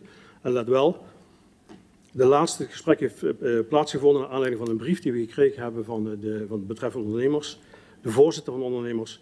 Eh, en met die mensen hebben we ook eh, gesprekken gevoerd op 24, eh, 22 januari 2024. We hebben met bewonersafvaardigingen van de 88 bewoners van de Dorpstraat, Ter Voorst en Grijzegrubbe gesproken op 21 november 22, 16 januari 23, 4 oktober 23, 8 januari 24. En aan, aan de hand van de publicatie van de inwoners, eh, eh, publicatie aan de inwoners over de verkeersveiligheid de Dorpstraat Slagboomsweg van 7 november, zijn er zo'n twintigtal reacties binnengekomen en daar hebben we allemaal gesprekken mee gevoerd, dan wel zijn beantwoord. En vervolgens hebben we nog een mailbericht van Beekdalen Lokaal, 9 november, over het door hun ingenomen standpunt als het gaat over de afsluiting van kamp. Dus er is nog geen sprake van een besluit of een voorgenomen besluit van kamp. Dat heb ik de vorige keer ook gezegd. Er is geen besluit, geen voorgenomen besluit. We zijn gewoon aan het sonderen, er is een probleem, we hebben het probleem geanalyseerd. Daaruit bleek dat het probleem terecht is dat de leefbaarheid wordt beperkt door de mensen en de veiligheid. En dat, in ieder geval vanuit de mobiliteitsplan wordt gezegd, veiligheid en eh, leefbaarheid gaat voor bereikbaarheid.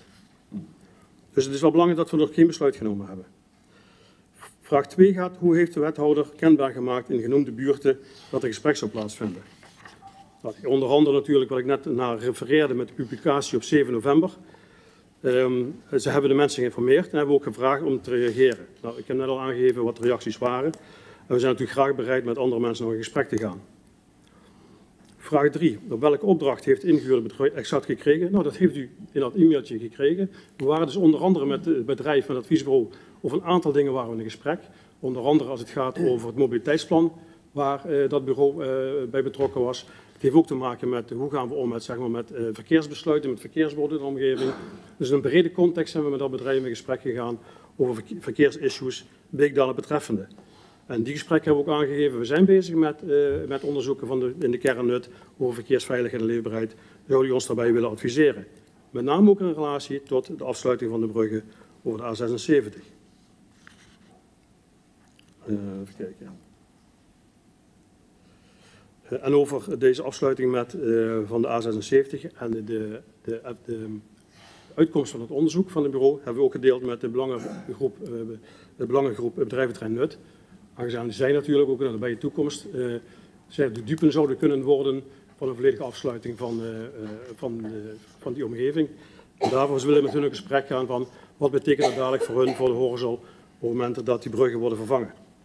Eh, ik vind ook van belang dat we daar met dit soort stakeholders altijd in gesprek blijven. En vervolgens heeft er nog door dat bureau een kentekenonderzoek plaatsgevonden, wat ik al zei. En vanuit het kentekenonderzoek blijkt dat de meeste mensen dus eh, vanuit de, de buitenring, dwars door eh, de Daalderweg, Kamp, Slagboomweg, de, hun weg vervolgen. Zonder te stoppen bij enige zaak in, in Beekdal en het Kazunet. Vraag 4. Welke beleidsopvatting CQ college besluit omtrent deze voorgenomen afzetting heeft de portefeuillehouder het college ingenomen? Ik heb al gezegd, er is nog geen enkel besluit genomen. Er is nog geen voorgenomen besluit genomen. We zijn gewoon met de mensen in gesprek. Mensen met, die mensen die zich aanmelden zijn in gesprek, met een bre- een bredere context. Dus ehm, eh, ja, er is nog geen college ingenomen. Eh, en daarbij is het natuurlijk wel zo dat ehm, het nemen van verkeersbesluiten gemandateerd is. Eh, maar je zou natuurlijk als college, zou je, is het natuurlijk wel raadzaam om de moties die ingediend zijn, dat je die probeert op een goede manier, een zorgvuldige manier uit te voeren. En daar zijn we nog steeds mee bezig. En natuurlijk, wat ik ook al eerder aangaf, wij volgen het eh, door de UGE-raad vastgestelde mobiliteitsplan. En dan toch een kort citaat uit het mobiliteitsplan, voor zover is relevant. Het aspect leefbaarheid in de kernen heeft de hoogste prioriteit. Bereikbaarheid is ondergeschikt eraan. Verder, de verblijfsfunctie staat boven de verkeersfunctie. Daarom moet doorgaand verkeer in de woonkernen zoveel mogelijk worden geweerd. Ik ga ervan uit dat uh, als men vindt dat het beleid gewijzigd moet worden, dat op enig moment dan gezegd wordt van uh, wij vinden bereikbaarheid belangrijker dan leefbaarheid en veiligheid. Want dat was volgens mij ook in de afdronk van de commissievergadering. Er werd gezegd, wij vinden, wij vinden bereikbaarheid belangrijker dan veiligheid, dan veiligheid en, uh, en leefbaarheid. Kom weer de laatste vraag. Um, voorzitter, kan de wethouder aangeven welk moment en waar de fysieke bijeenkomst gepland staat? Nou, we hebben net al met de woorden van meneer Pansers, het zijn fysieke bijeenkomsten. Hè. Als het gaat over, over zorgvuldig voorbereiden, met de doelgroepen in gesprek gaan, dan moet je kijken wanneer past wie uh, en welke doelgroep moet je dan daarbij betrekken. En of we nou de ondernemers zijn uh, van de dorpstraat die we apart pakken, of we nou de Horzel hebben uh, gesproken, of dat we dadelijk de, de diverse kernen pakken. We moeten gewoon kijken dat iedereen dat we recht doen aan de burgerparticipatie. Want dat leert wel. Als je iedereen bij elkaar zet, en dat merkt hier vanavond ook, iedereen heeft andere meningen, dan kom je nooit tot een gedragen oplossing. En ik ben wel iemand die probeert tot een realistische oplossing te komen die gedragen wordt door iedereen. En daarom is van belang dit zorgvuldig, dit traject zorgvuldig uh, in te kleden. Met nogmaals de uitdrukking, de, de, de, het gezegde, er is nog geen besluit genomen, er is nog geen voorgenomen besluit. En ik hoop dat in de loop van dit jaar daar, daar wel mee uh, te kunnen komen. En de gesprekken die wij uh, zijn gepland in de buurt van april, we moeten nog even kijken wanneer komt dat het beste uit, met de buurtbewoners in gesprek te gaan. Maar het is ook afhankelijk van welke gebeurtenissen volgen nu nog. Want ik heb toevallig vanavond een, een, grafier een brief ontvangen van de ondernemers van de Dorpstraat. Die is nog niet ingeschreven, heb ik begrepen. Nou goed, ik wil daar graag ook eerst mee in gesprek gaan om te kijken wat heeft, wat heeft dat voor, voor betekenis. Uh, ik denk dat ik zover alle vragen beantwoord, uh, voorzitter. Dat denk ik ook. Ik kijk naar de raad. Wie wenst gebruik te maken van de termijn? De heer Geurten, de heer Pieper, de heer Rijks, de heer Pansters als laatste, dan de heer Kokkelkoren, dan de heer Scheer, de heer Schevers. De heer Schevers, aan u het woord. Voorzitter, volgens mij uh, er zijn er ook een aantal vragen gesteld die eerder niet bij de schriftelijke vragen sta, uh, stonden. Maar goed, daar heeft de wethouder uh, adequaat op geantwoord.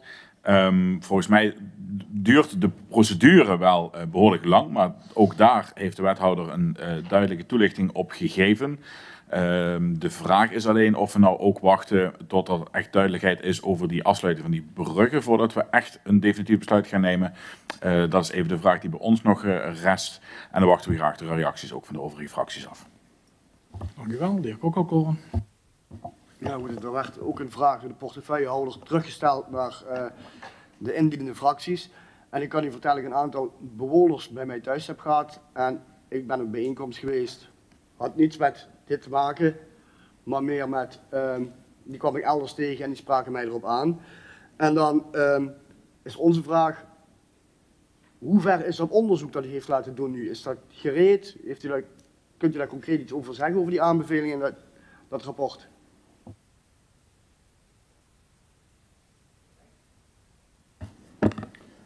Ja, voorzitter, twee aanvullende vragen. Um, ik hoorde de wethouder net heel snel wat uh, data noemen van gesprekken die er geweest zijn. Ik heb die niet uh, kunnen opschrijven, maar mijn vraag is eigenlijk heel simpel. Hoe uh, hadden wij kunnen weten wat u met deze motie heeft gedaan? Um, we hebben daar weinig tot geen informatie van gehad. Het is een motie van 14 november 23. En gezien uw antwoorden mm, mag ik ervan uitgaan dat u in ieder geval de motie wil uitvoeren en dat u die niet naar zich neer wil leggen. En tot slot wil ik me aansluiten bij de heer Schevers. Wanneer gaan we nu een besluit nemen met betrekking tot deze kwestie? Dank u wel, de heer Geurten. Dank u wel, voorzitter. Allereerst dank voor het beantwoorden van de vragen. Ik heb één verhelderende vraag aan de portefeuillehouder. heb ik goed verstaan en begrepen dat 80% van het verkeer over de Slagboomsweg eigenlijk verkeer is wat probeert het stoplicht op de grote weg te ontwijken? Is dat, is dat wat u zegt? Zowel in, in, in, en dan in beide richtingen.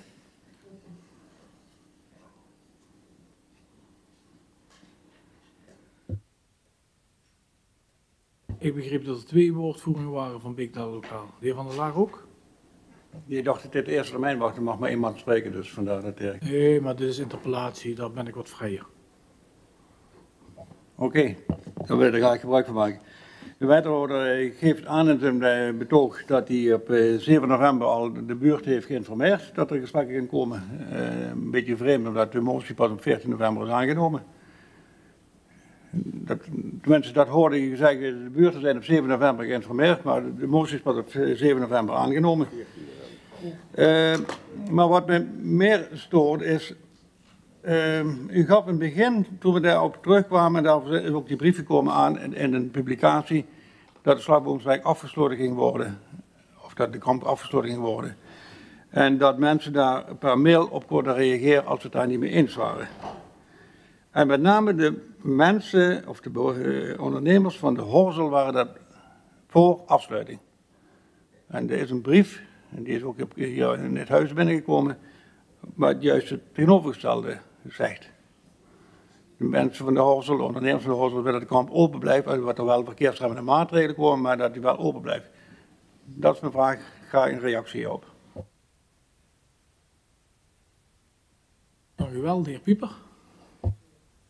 Ja, meneer de voorzitter. Ehm, als ik het goed begrijp, is het eigenlijk een collegebesluit of in de toekomst de kamp al dan niet wordt afgesloten. Maar omdat deze zaak nu toch politiek geworden is, is het voor de vernieuwingsgroep van belang om zoveel mogelijk informatie te hebben over wat nu mensen in die regio vinden ervan. En eh, zodat wij wellicht in de toekomst een moment hebben om het besluit van de college te kunnen wegen. Nu is althans bij mij alleen bekend een brief van 88 bewoners van de Dorpstraat, Habenstraat, Nutterhof, Kampenhof. Die zeggen van, eh, wij pleiten voor afsluiting en de motie van Beekdalen Lokaal vinden wij not done. De heer Pansters die heeft veel meer informatie. Die heeft signalen van buurten, van bedrijven en uit het huis. Ik neem dat hij met uit het huis hier de ambtenaren bedoelt. Wel nu, om een goede afweging te kunnen maken als de vernieuwingsgroep, zou ik aan de heer Pansers willen vragen of hij die signalen die hij heeft, of die ook met de andere raadsleden kan worden gedeeld, zodat wij niet slechts hoeven af te gaan op die brief van 88 bewoners.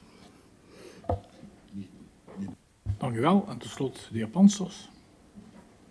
Ja, laat ik beginnen met het, aller, met het laatste. Hetgeen wat ik vernomen heb, dat is ook hier in huis bekend. Er zijn mensen die hebben gereageerd. Ja, jullie niet, maar dat begrijp ik. Maar daarom vraag ik ook of de wethouder bereid is om alle correspondentie die gestuurd is, zowel naar college als naar de raad, om die met ons te delen. Dus eigenlijk is dat dezelfde vraag die u aan mij stelt. Niet.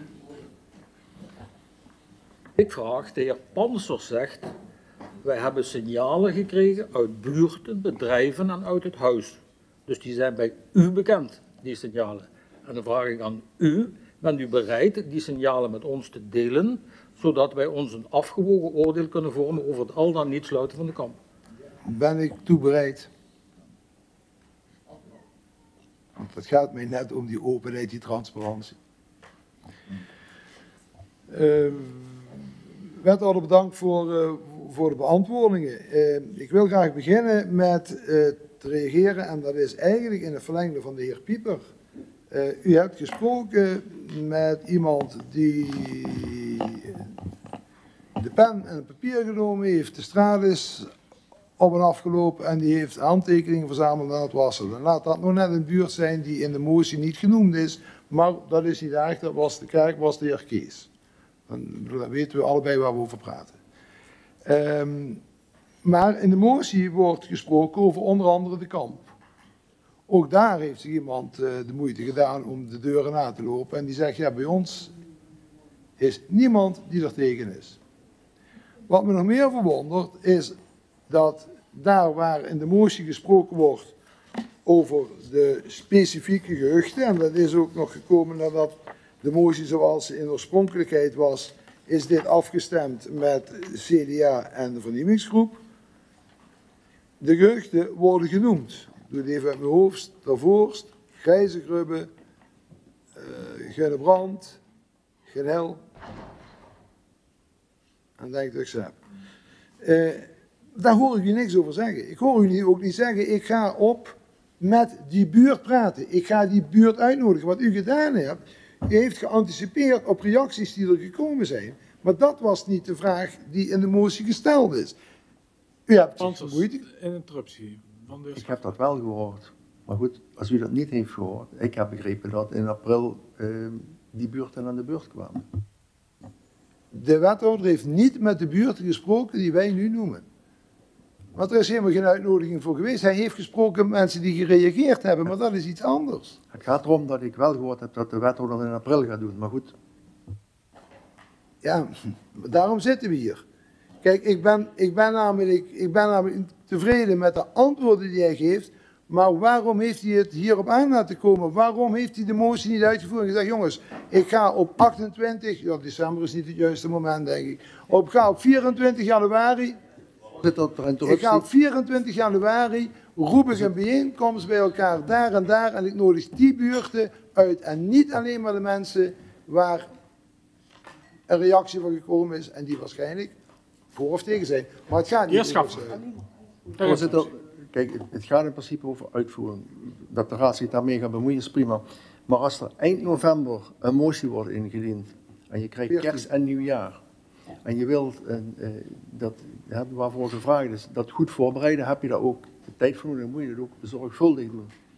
En nogmaals, en dan vraag ik ook aan de Japanners, dadelijk komt er iets uit het onderzoek en dan is 60% voor en 40% tegen of de helft maakt het niks uit. Dan zal er toch een besluit moeten worden genomen. En dat besluit zul je moeten nemen op basis van het beleid wat wij als raad hebben vastgesteld. Hè, dat leefbaarheid gaat voor bereikbaarheid. En als we dat veranderen willen, dan moeten we beleid veranderen. Dus nogmaals, eh, ik heb wel gehoord dat in april wel die bezoeken geregeld zijn. Tot zover. Ja, Pansers. Ja, en als de wethouder dat nou had verteld in de commissievergadering, ik ben nog niet zo ver, maar ik ga het in april doen, denk ik dat we, denk ik, dat we deze discussie niet hadden hoeven te voeren. Maar als de wethouder je naar huis stuurt met drie keer het antwoord, ik heb je geantwoord. Nee, ja, goed, en toen greep de voorzitter gelukkig in. Dus daarom was dit nodig om meer duidelijkheid te krijgen in het een en ander. Um, ik, we hebben ook gevraagd uh, naar. Oh ja, u spreekt over het mobiliteitsplan. Waar u niet over spreekt, is dat er bij de werkgroep verkeer, heet dat meen ik hè, in, de, in de gemeente, dat er bij de werkgroep verkeer al jaren een aanbeveling ligt om het gebied, noem het maar, Kamp tot Valkenburgerweg, dan weten we allemaal wel wat we bedoelen, ik ga die straten niet allemaal noemen, om daar de zaak dusdanig in te richten dat het een stuk minder uitnodigend wordt om daar doorheen te rijden. Wat heeft hij met dat plan gedaan? En dat is ook hetgeen wat u is meegegeven door de ondernemersvereniging. Want die zei,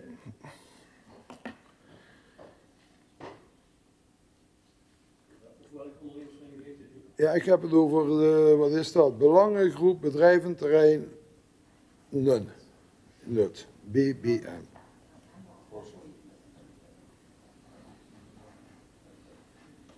Vandaar dat wij door middel van deze brief u verzoeken op zoek te gaan naar andere oplossingen om de drukte op de kamp te beperken. Dat is volgens mij toch heel duidelijk, daar kan ik niks anders van maken.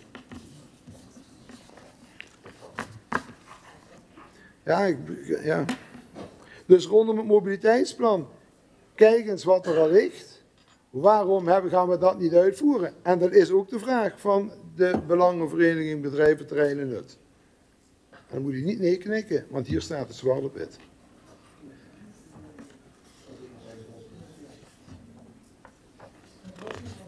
Interruptie van de heer Schafraad. Volgens mij, meneer Pansers, heeft de wethouder gezegd dat het afsluiten nog niet aan de orde is en dat hij aan het kijken is welke mogelijkheden er zijn om de problematiek op te lossen. De wethouder reageerde op een uitspraak die ik deed en dat staat los van of we wel of niet strakjes gaan, eh, gaan sluiten. Daar reageerde ik op. Heer Pansers, bent u klaar met uw betoog in de tweede termijn? Eerste. Nee. Nee, ik wil, ik, wil, ik wil niet dezelfde fout maken als ik, ik, heb net nog niet de maakte. vraag, ik heb nog niet de vraag beantwoord gezien van de correspondentie. Ja, als, een vergadering, als een vergadering leidt tot chaos, is altijd de voorzitter schuld. Nee, dat hoeft niet. Dat kan ook een andere liggen. Eh, ik heb geen antwoord gekregen op de vraag of u bereid bent ons alle correspondentie te sturen in dit dossier. En dat gaat dus lange tijd terug, want het is ooit begonnen met een brief van de bewoners rondom de kerk. En ik zou graag willen dat u ons meeneemt in het dossier. Punt. Ja. De wethouder. Ter afsluiting. Ja, voorzitter, dank u wel. Ehm, ja, wat misschien een beetje, eh, eh, ook wel een beetje waar is wat meneer Panser nu zegt. Dit is al een heel oud dossier. En wat ik van de mensen hoor in de straat, dat er geen aan gedaan is in die, in die jaren. En dat men nu eens een keer eh, ballen toont verwacht van de gemeenteraad en de gemeente om er eens een keer wel wat aan te doen. Dus bedankt voor in ieder geval het aankomstpunt. Ik heb het proberen terug te zoeken allemaal, het archief. Het is redelijk moeilijk, maar we gaan toch proberen om te kijken hoe ver we komen. Er is dat ooit ooit een keer een motie zo ingediend in de voormalige gemeente Nut over dit. Ik kan hem niet vinden. Dus als u, als u hem graag heeft, dan, dan heeft, graag, eh, eh, zou ik hem graag willen hebben. Eh, ik kom nog even terug, want ik had vragen gesteld aan fracties. En ik heb van niemand een antwoord gekregen. De vraag was namelijk, er zouden met ambtenaren zouden aangegeven hebben aan u, want u staat allemaal in het dossier, als wij, wij blijven, we hebben signalen van de, van de ambtenaren, dat er niet of niet adequaat eh, gehandeld is. Of wat niks met de motie gebeurt. Voorzitter, ik denk dat ik daar eh, wel op kan eh, Nee, ik, antwoorden. ik ben even, ik heb de, voorzitter, maar toch even, hè, ik heb die vraag gesteld in eerste termijn. De enige die enigszins antwoord gaf, was de PvdA, door aan te geven dat hij met wat bewoners en wat, eh, wat bedrijven gesproken heeft. Maar ik heb van de anderen nog niet gehoord van, eh, van met wie ze dan gesproken zouden hebben, dus ambtenaren. Want, eh, want dat is wel een dingetje voor mij. En niet dat niet met ambtenaren mag worden gesproken, maar als ik met ambtenaren spreek en die zeggen van er is met niemand mij contact opgenomen, en er zit wel in een stuk wat, eh, wat wel over de ambtenaren gaat, dan wil ik wel de ambtenaren een positie houden. Dus eh, jammer dat ik daar geen antwoord op heb, ge- heb gekregen. Ehm, u heeft steeds antwoord gekregen. De wethouder, een interruptie van de heer Pansers. Ja, ik wil wel antwoord ik wil- geven. Bedoel, eh, Ik wil, maar één ding wil ik als voorzitter doen. Ook het ambtenarenkorps op dit moment beschermen. Ja. Kijk, in het, interpellatie, in het interpellatieverzoek staat iets dat vanuit dit huis iets is gekomen. Ja. Ik vond dat geen fijne formulering. Eh, laat ik het maar zo zeggen. Maar, maar ik wil ook voorkomen dat hier in het openbaar debat namen van ambtenaren over eh, in het debat worden gebruikt. Dus daar wil ik een oproep doen. De heer Pansers. Voorzitter, dat laatste was niet nodig geweest, want daar ga ik absoluut geen debat voor voeren. Wat dat aangaat, ga ik ook al wat langer mee. Ehm, en ik hoop dat u er genoegen mee neemt dat naast bedrijven, ja, er zijn er, die, hebben me dat, eh, die hebben me dat gezegd, u weet, ik, ik vertoef daar nog wel eens. Eh, zijn er ook mensen aan de deur geweest? Hebben we mensen aangesproken op plekken waar je dan wel eens komt? En u wil vragen in het huis, ik wil dat laten bij het woord in het huis. En daar heb ik verder geen actieve herinneringen aan. Maar ik heb nog niet van de andere fracties gehoord hoe zij aan die informatie komen. Want zij, nee, in de stukken staat dat wij hebben vernomen uit het huis. Dus ik kijk eventjes naar de PvdA, de fractie Collé eh, Rijks. Ik kijk naar Big Daar Lokaal, VVD en naar D66. Welke informatie heeft u dan van het huis, uit het huis gekregen dat u kunt schrijven dat, dat, eh, dat niet voldoende en adequaat wordt gehandeld? Ik, ik snap de vragen van de wethouder, ik snap dat u graag wilt weten, maar ik zou dat niet vanavond, zoals u al zei, hier doen. Ik zou aan de fracties willen vragen, neem contact op met de wethouder of geef het apart aan de wethouder door, want het kan niet zo zijn dat we hier namen gaan noemen. Nee, maar ook, ook dat wil ik niet. Eh, wij bespreken dat wel bij het presidium de volgende, eh, volgende week is die volgens mij. Of anderhalve week. Ja? Akkoord, En dan wil ik even afsluiten, want ik heb wel bedoeld, dat heb ik ook zo gezegd, meneer Schaffrat gaf het terecht aan, dat ik zo rond april eh, wil starten met die bijeenkomsten met, die, met, met de kernen. En de kernen hebben we niet met name genoemd, maar ik zal ze nog een keer noemen, want ze staan wel in de beantwoording. Eh, dat had te maken met uh, Grijzegrubbe, Nierhoven, Tervorst, Terstraat en Brandkamp, uh, bedrijventerrein, ondernemers. Ja, dus daar zijn we gaan wel mee gesprek. Interruptie van de heer Pansers. Interruptie, ja. Ik wil daar toch wat meer duidelijkheid over hebben. Want ik heb daar net ook aangegeven wat, wat u gedaan hebt. En ik zeg niet dat dat verkeerd is. Wat u gedaan hebt, u hebt een gesprek gevoerd met mensen die tegen waren. Mijn vraag is heel specifiek. Gaat u naar deze buurten toe en duwt u bij iedereen een briefje in de bus. Dan en dan wil ik met u praten hierover. Of gaat u selectief te werk? Want dat laatste willen we absoluut niet. Dat staat ook niet in die motie. Nee, als het mag, voorzitter. Zeker. Mag. Uh, wij gaan het publiceren gewoon in het lokale blad. Dat wanneer er voor welke buurt een bijeenkomst is. En dan kunnen mensen zich daarvoor uh, kunnen daar naartoe gaan. Dus we gaan niet selectief zeggen dat we mensen uitpikken random van u bent uitgenodigd. Dat is niet de, de lijn zoals wij de burgerparticipatie toepassen in Beekdalen. Interruptie van de heer Van der Laag. Dank u wel, voorzitter. Ik neem aan dat raadsleden of commissieleden van ons eh, aanwezig mogen zijn. Dat mag u natuurlijk uiteraard zelf weten, maar ik zou wel verzoeken dan uh, het luisterend oor uh, daar te hebben en niet de voortouw te nemen in de discussie. Want dat, ook daar wil ik graag zorgen dat de voor- en tegenstanders met elkaar gewoon in het blad kunnen gaan en kijken wat eruit komt. En ik uh, moet eerlijk zeggen, ik doe heel veel van dit soort bijeenkomsten uh, organiseren met inwonersavonden over allerlei soorten projecten. En vaak zijn een afvaardiging van u aanwezig. En ik heb nog niet hoeven mee te maken dat er mensen zich hinderlijk hebben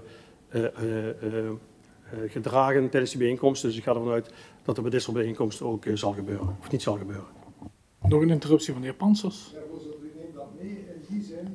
ik zou toch graag dat u de opdracht zoals die naar het bureau is gegaan, dat we die krijgen. Dit was geen opdracht.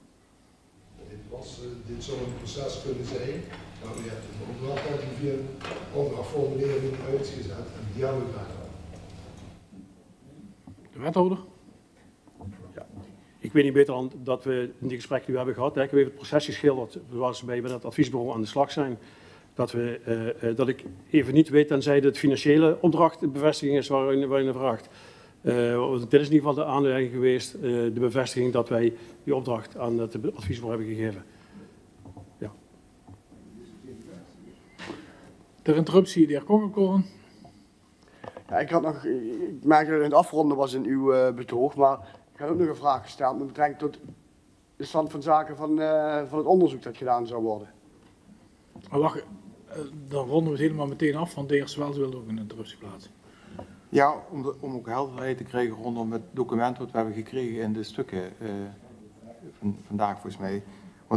Zoals wij het lezen, maar er zijn een aantal zaken uh, groen uh, gemaakt, of ja, zwart waarschijnlijk in het originele document. Is dit zeg maar een reflectie van het bureau op hoe het bureau denkt dat zij het proces kunnen inregelen? Maar daar moet iets aan vooraf zijn gegaan, namelijk de opdracht van het college aan het bureau. En die missen we nog. Ja, dat is niet, vanuit het college, maar dat is gewoon ambtelijk. Hè. We hebben die gesprekken, we zijn regelmatig in gesprek met het adviesbureau over een aantal zaken die verkeerskundige aspecten betreft. En tijdens die gesprekken is er, dit ter sprake gekomen en zij hebben een reflectie gegeven op het gesprek wat toen gevoerd is. En daar is het uitgekomen. Maar dan volgt daarna toch de opdrachtbevestiging? Het, het, gaat eigenlijk nergens over, maar een mondelinge opdracht is ook een opdracht. En dan is daar bijvoorbeeld geen schriftelijke overeenkomst van. En zeker als je een raamovereenkomst hebt, dan heb je de uur drie van alles al afgesproken. Dus ik vraag me af in hoeverre wij nu hiermee verder gaan. Ik vind dat u gewoon de, nee, de discussie debat, moet sluiten. De vraag is gesteld. Men wil gewoon de zuivere opdracht hebben die aan het bureau is gegeven. En, uh, en we gaan kijken of er meer is dan dit. En als er niet meer is, dan, uh, dan laten we dat ook weten. Ter afronding nu. Hoe geen antwoord gaat u met de werkgroep verkeersbestuur of ja, deze gemeente niet voor niks hebben? Gaat u daarmee in gesprek om te kijken wat u voorgesteld? Wilt u dat ook meenemen in de overwegingen die u verder in dit proces gaat maken? De afronding. Even terug, eerst de, meneer Kokkelkoorn. Ja, wij, als u een keer als raad geïnteresseerd bent in zeg maar, het onderzoek van het bureau, wat als het gaat om de omleidingsroutes, of in ieder geval de verkeersintensiteit die door, toe zal nemen in Nut en Vaasraden. Hè, want pas op, het heeft best wel effecten dadelijk als de, de bruggen de, gesloten gaan worden. Dan uh, wil ik wel eens een keer een, uh, kijken of dat bedrijf hier die presentatie kan geven. Het zal niet zo heel lang duren, maar dat u in ieder geval inzicht heeft Maar wat zijn de problemen dadelijk waar we tegenaan lopen? Dat is één. Um, toch even terugkomen op meneer Pansers. We hebben met de, naar aanleiding van die brief waar nu net aan refereerde, dat is de brief van 7 december, ik gaf dat in mijn eerste termijn ook aan, hebben met de, met de voorzitter, onder andere de voorzitter, maar ook een afvaardiging van het bestuur van de Horst aan tafel gezeten, om te kijken hoe we met die brief omgaan. En uh, we hebben ook daar die presentatie laten zien, heb ik in de eerste termijn genoemd, uh, om vooral om te kijken wat zijn de consequenties voor, uh, voor de Horzel en zelfs breder ook voor de, voor de bereinder en dergelijke.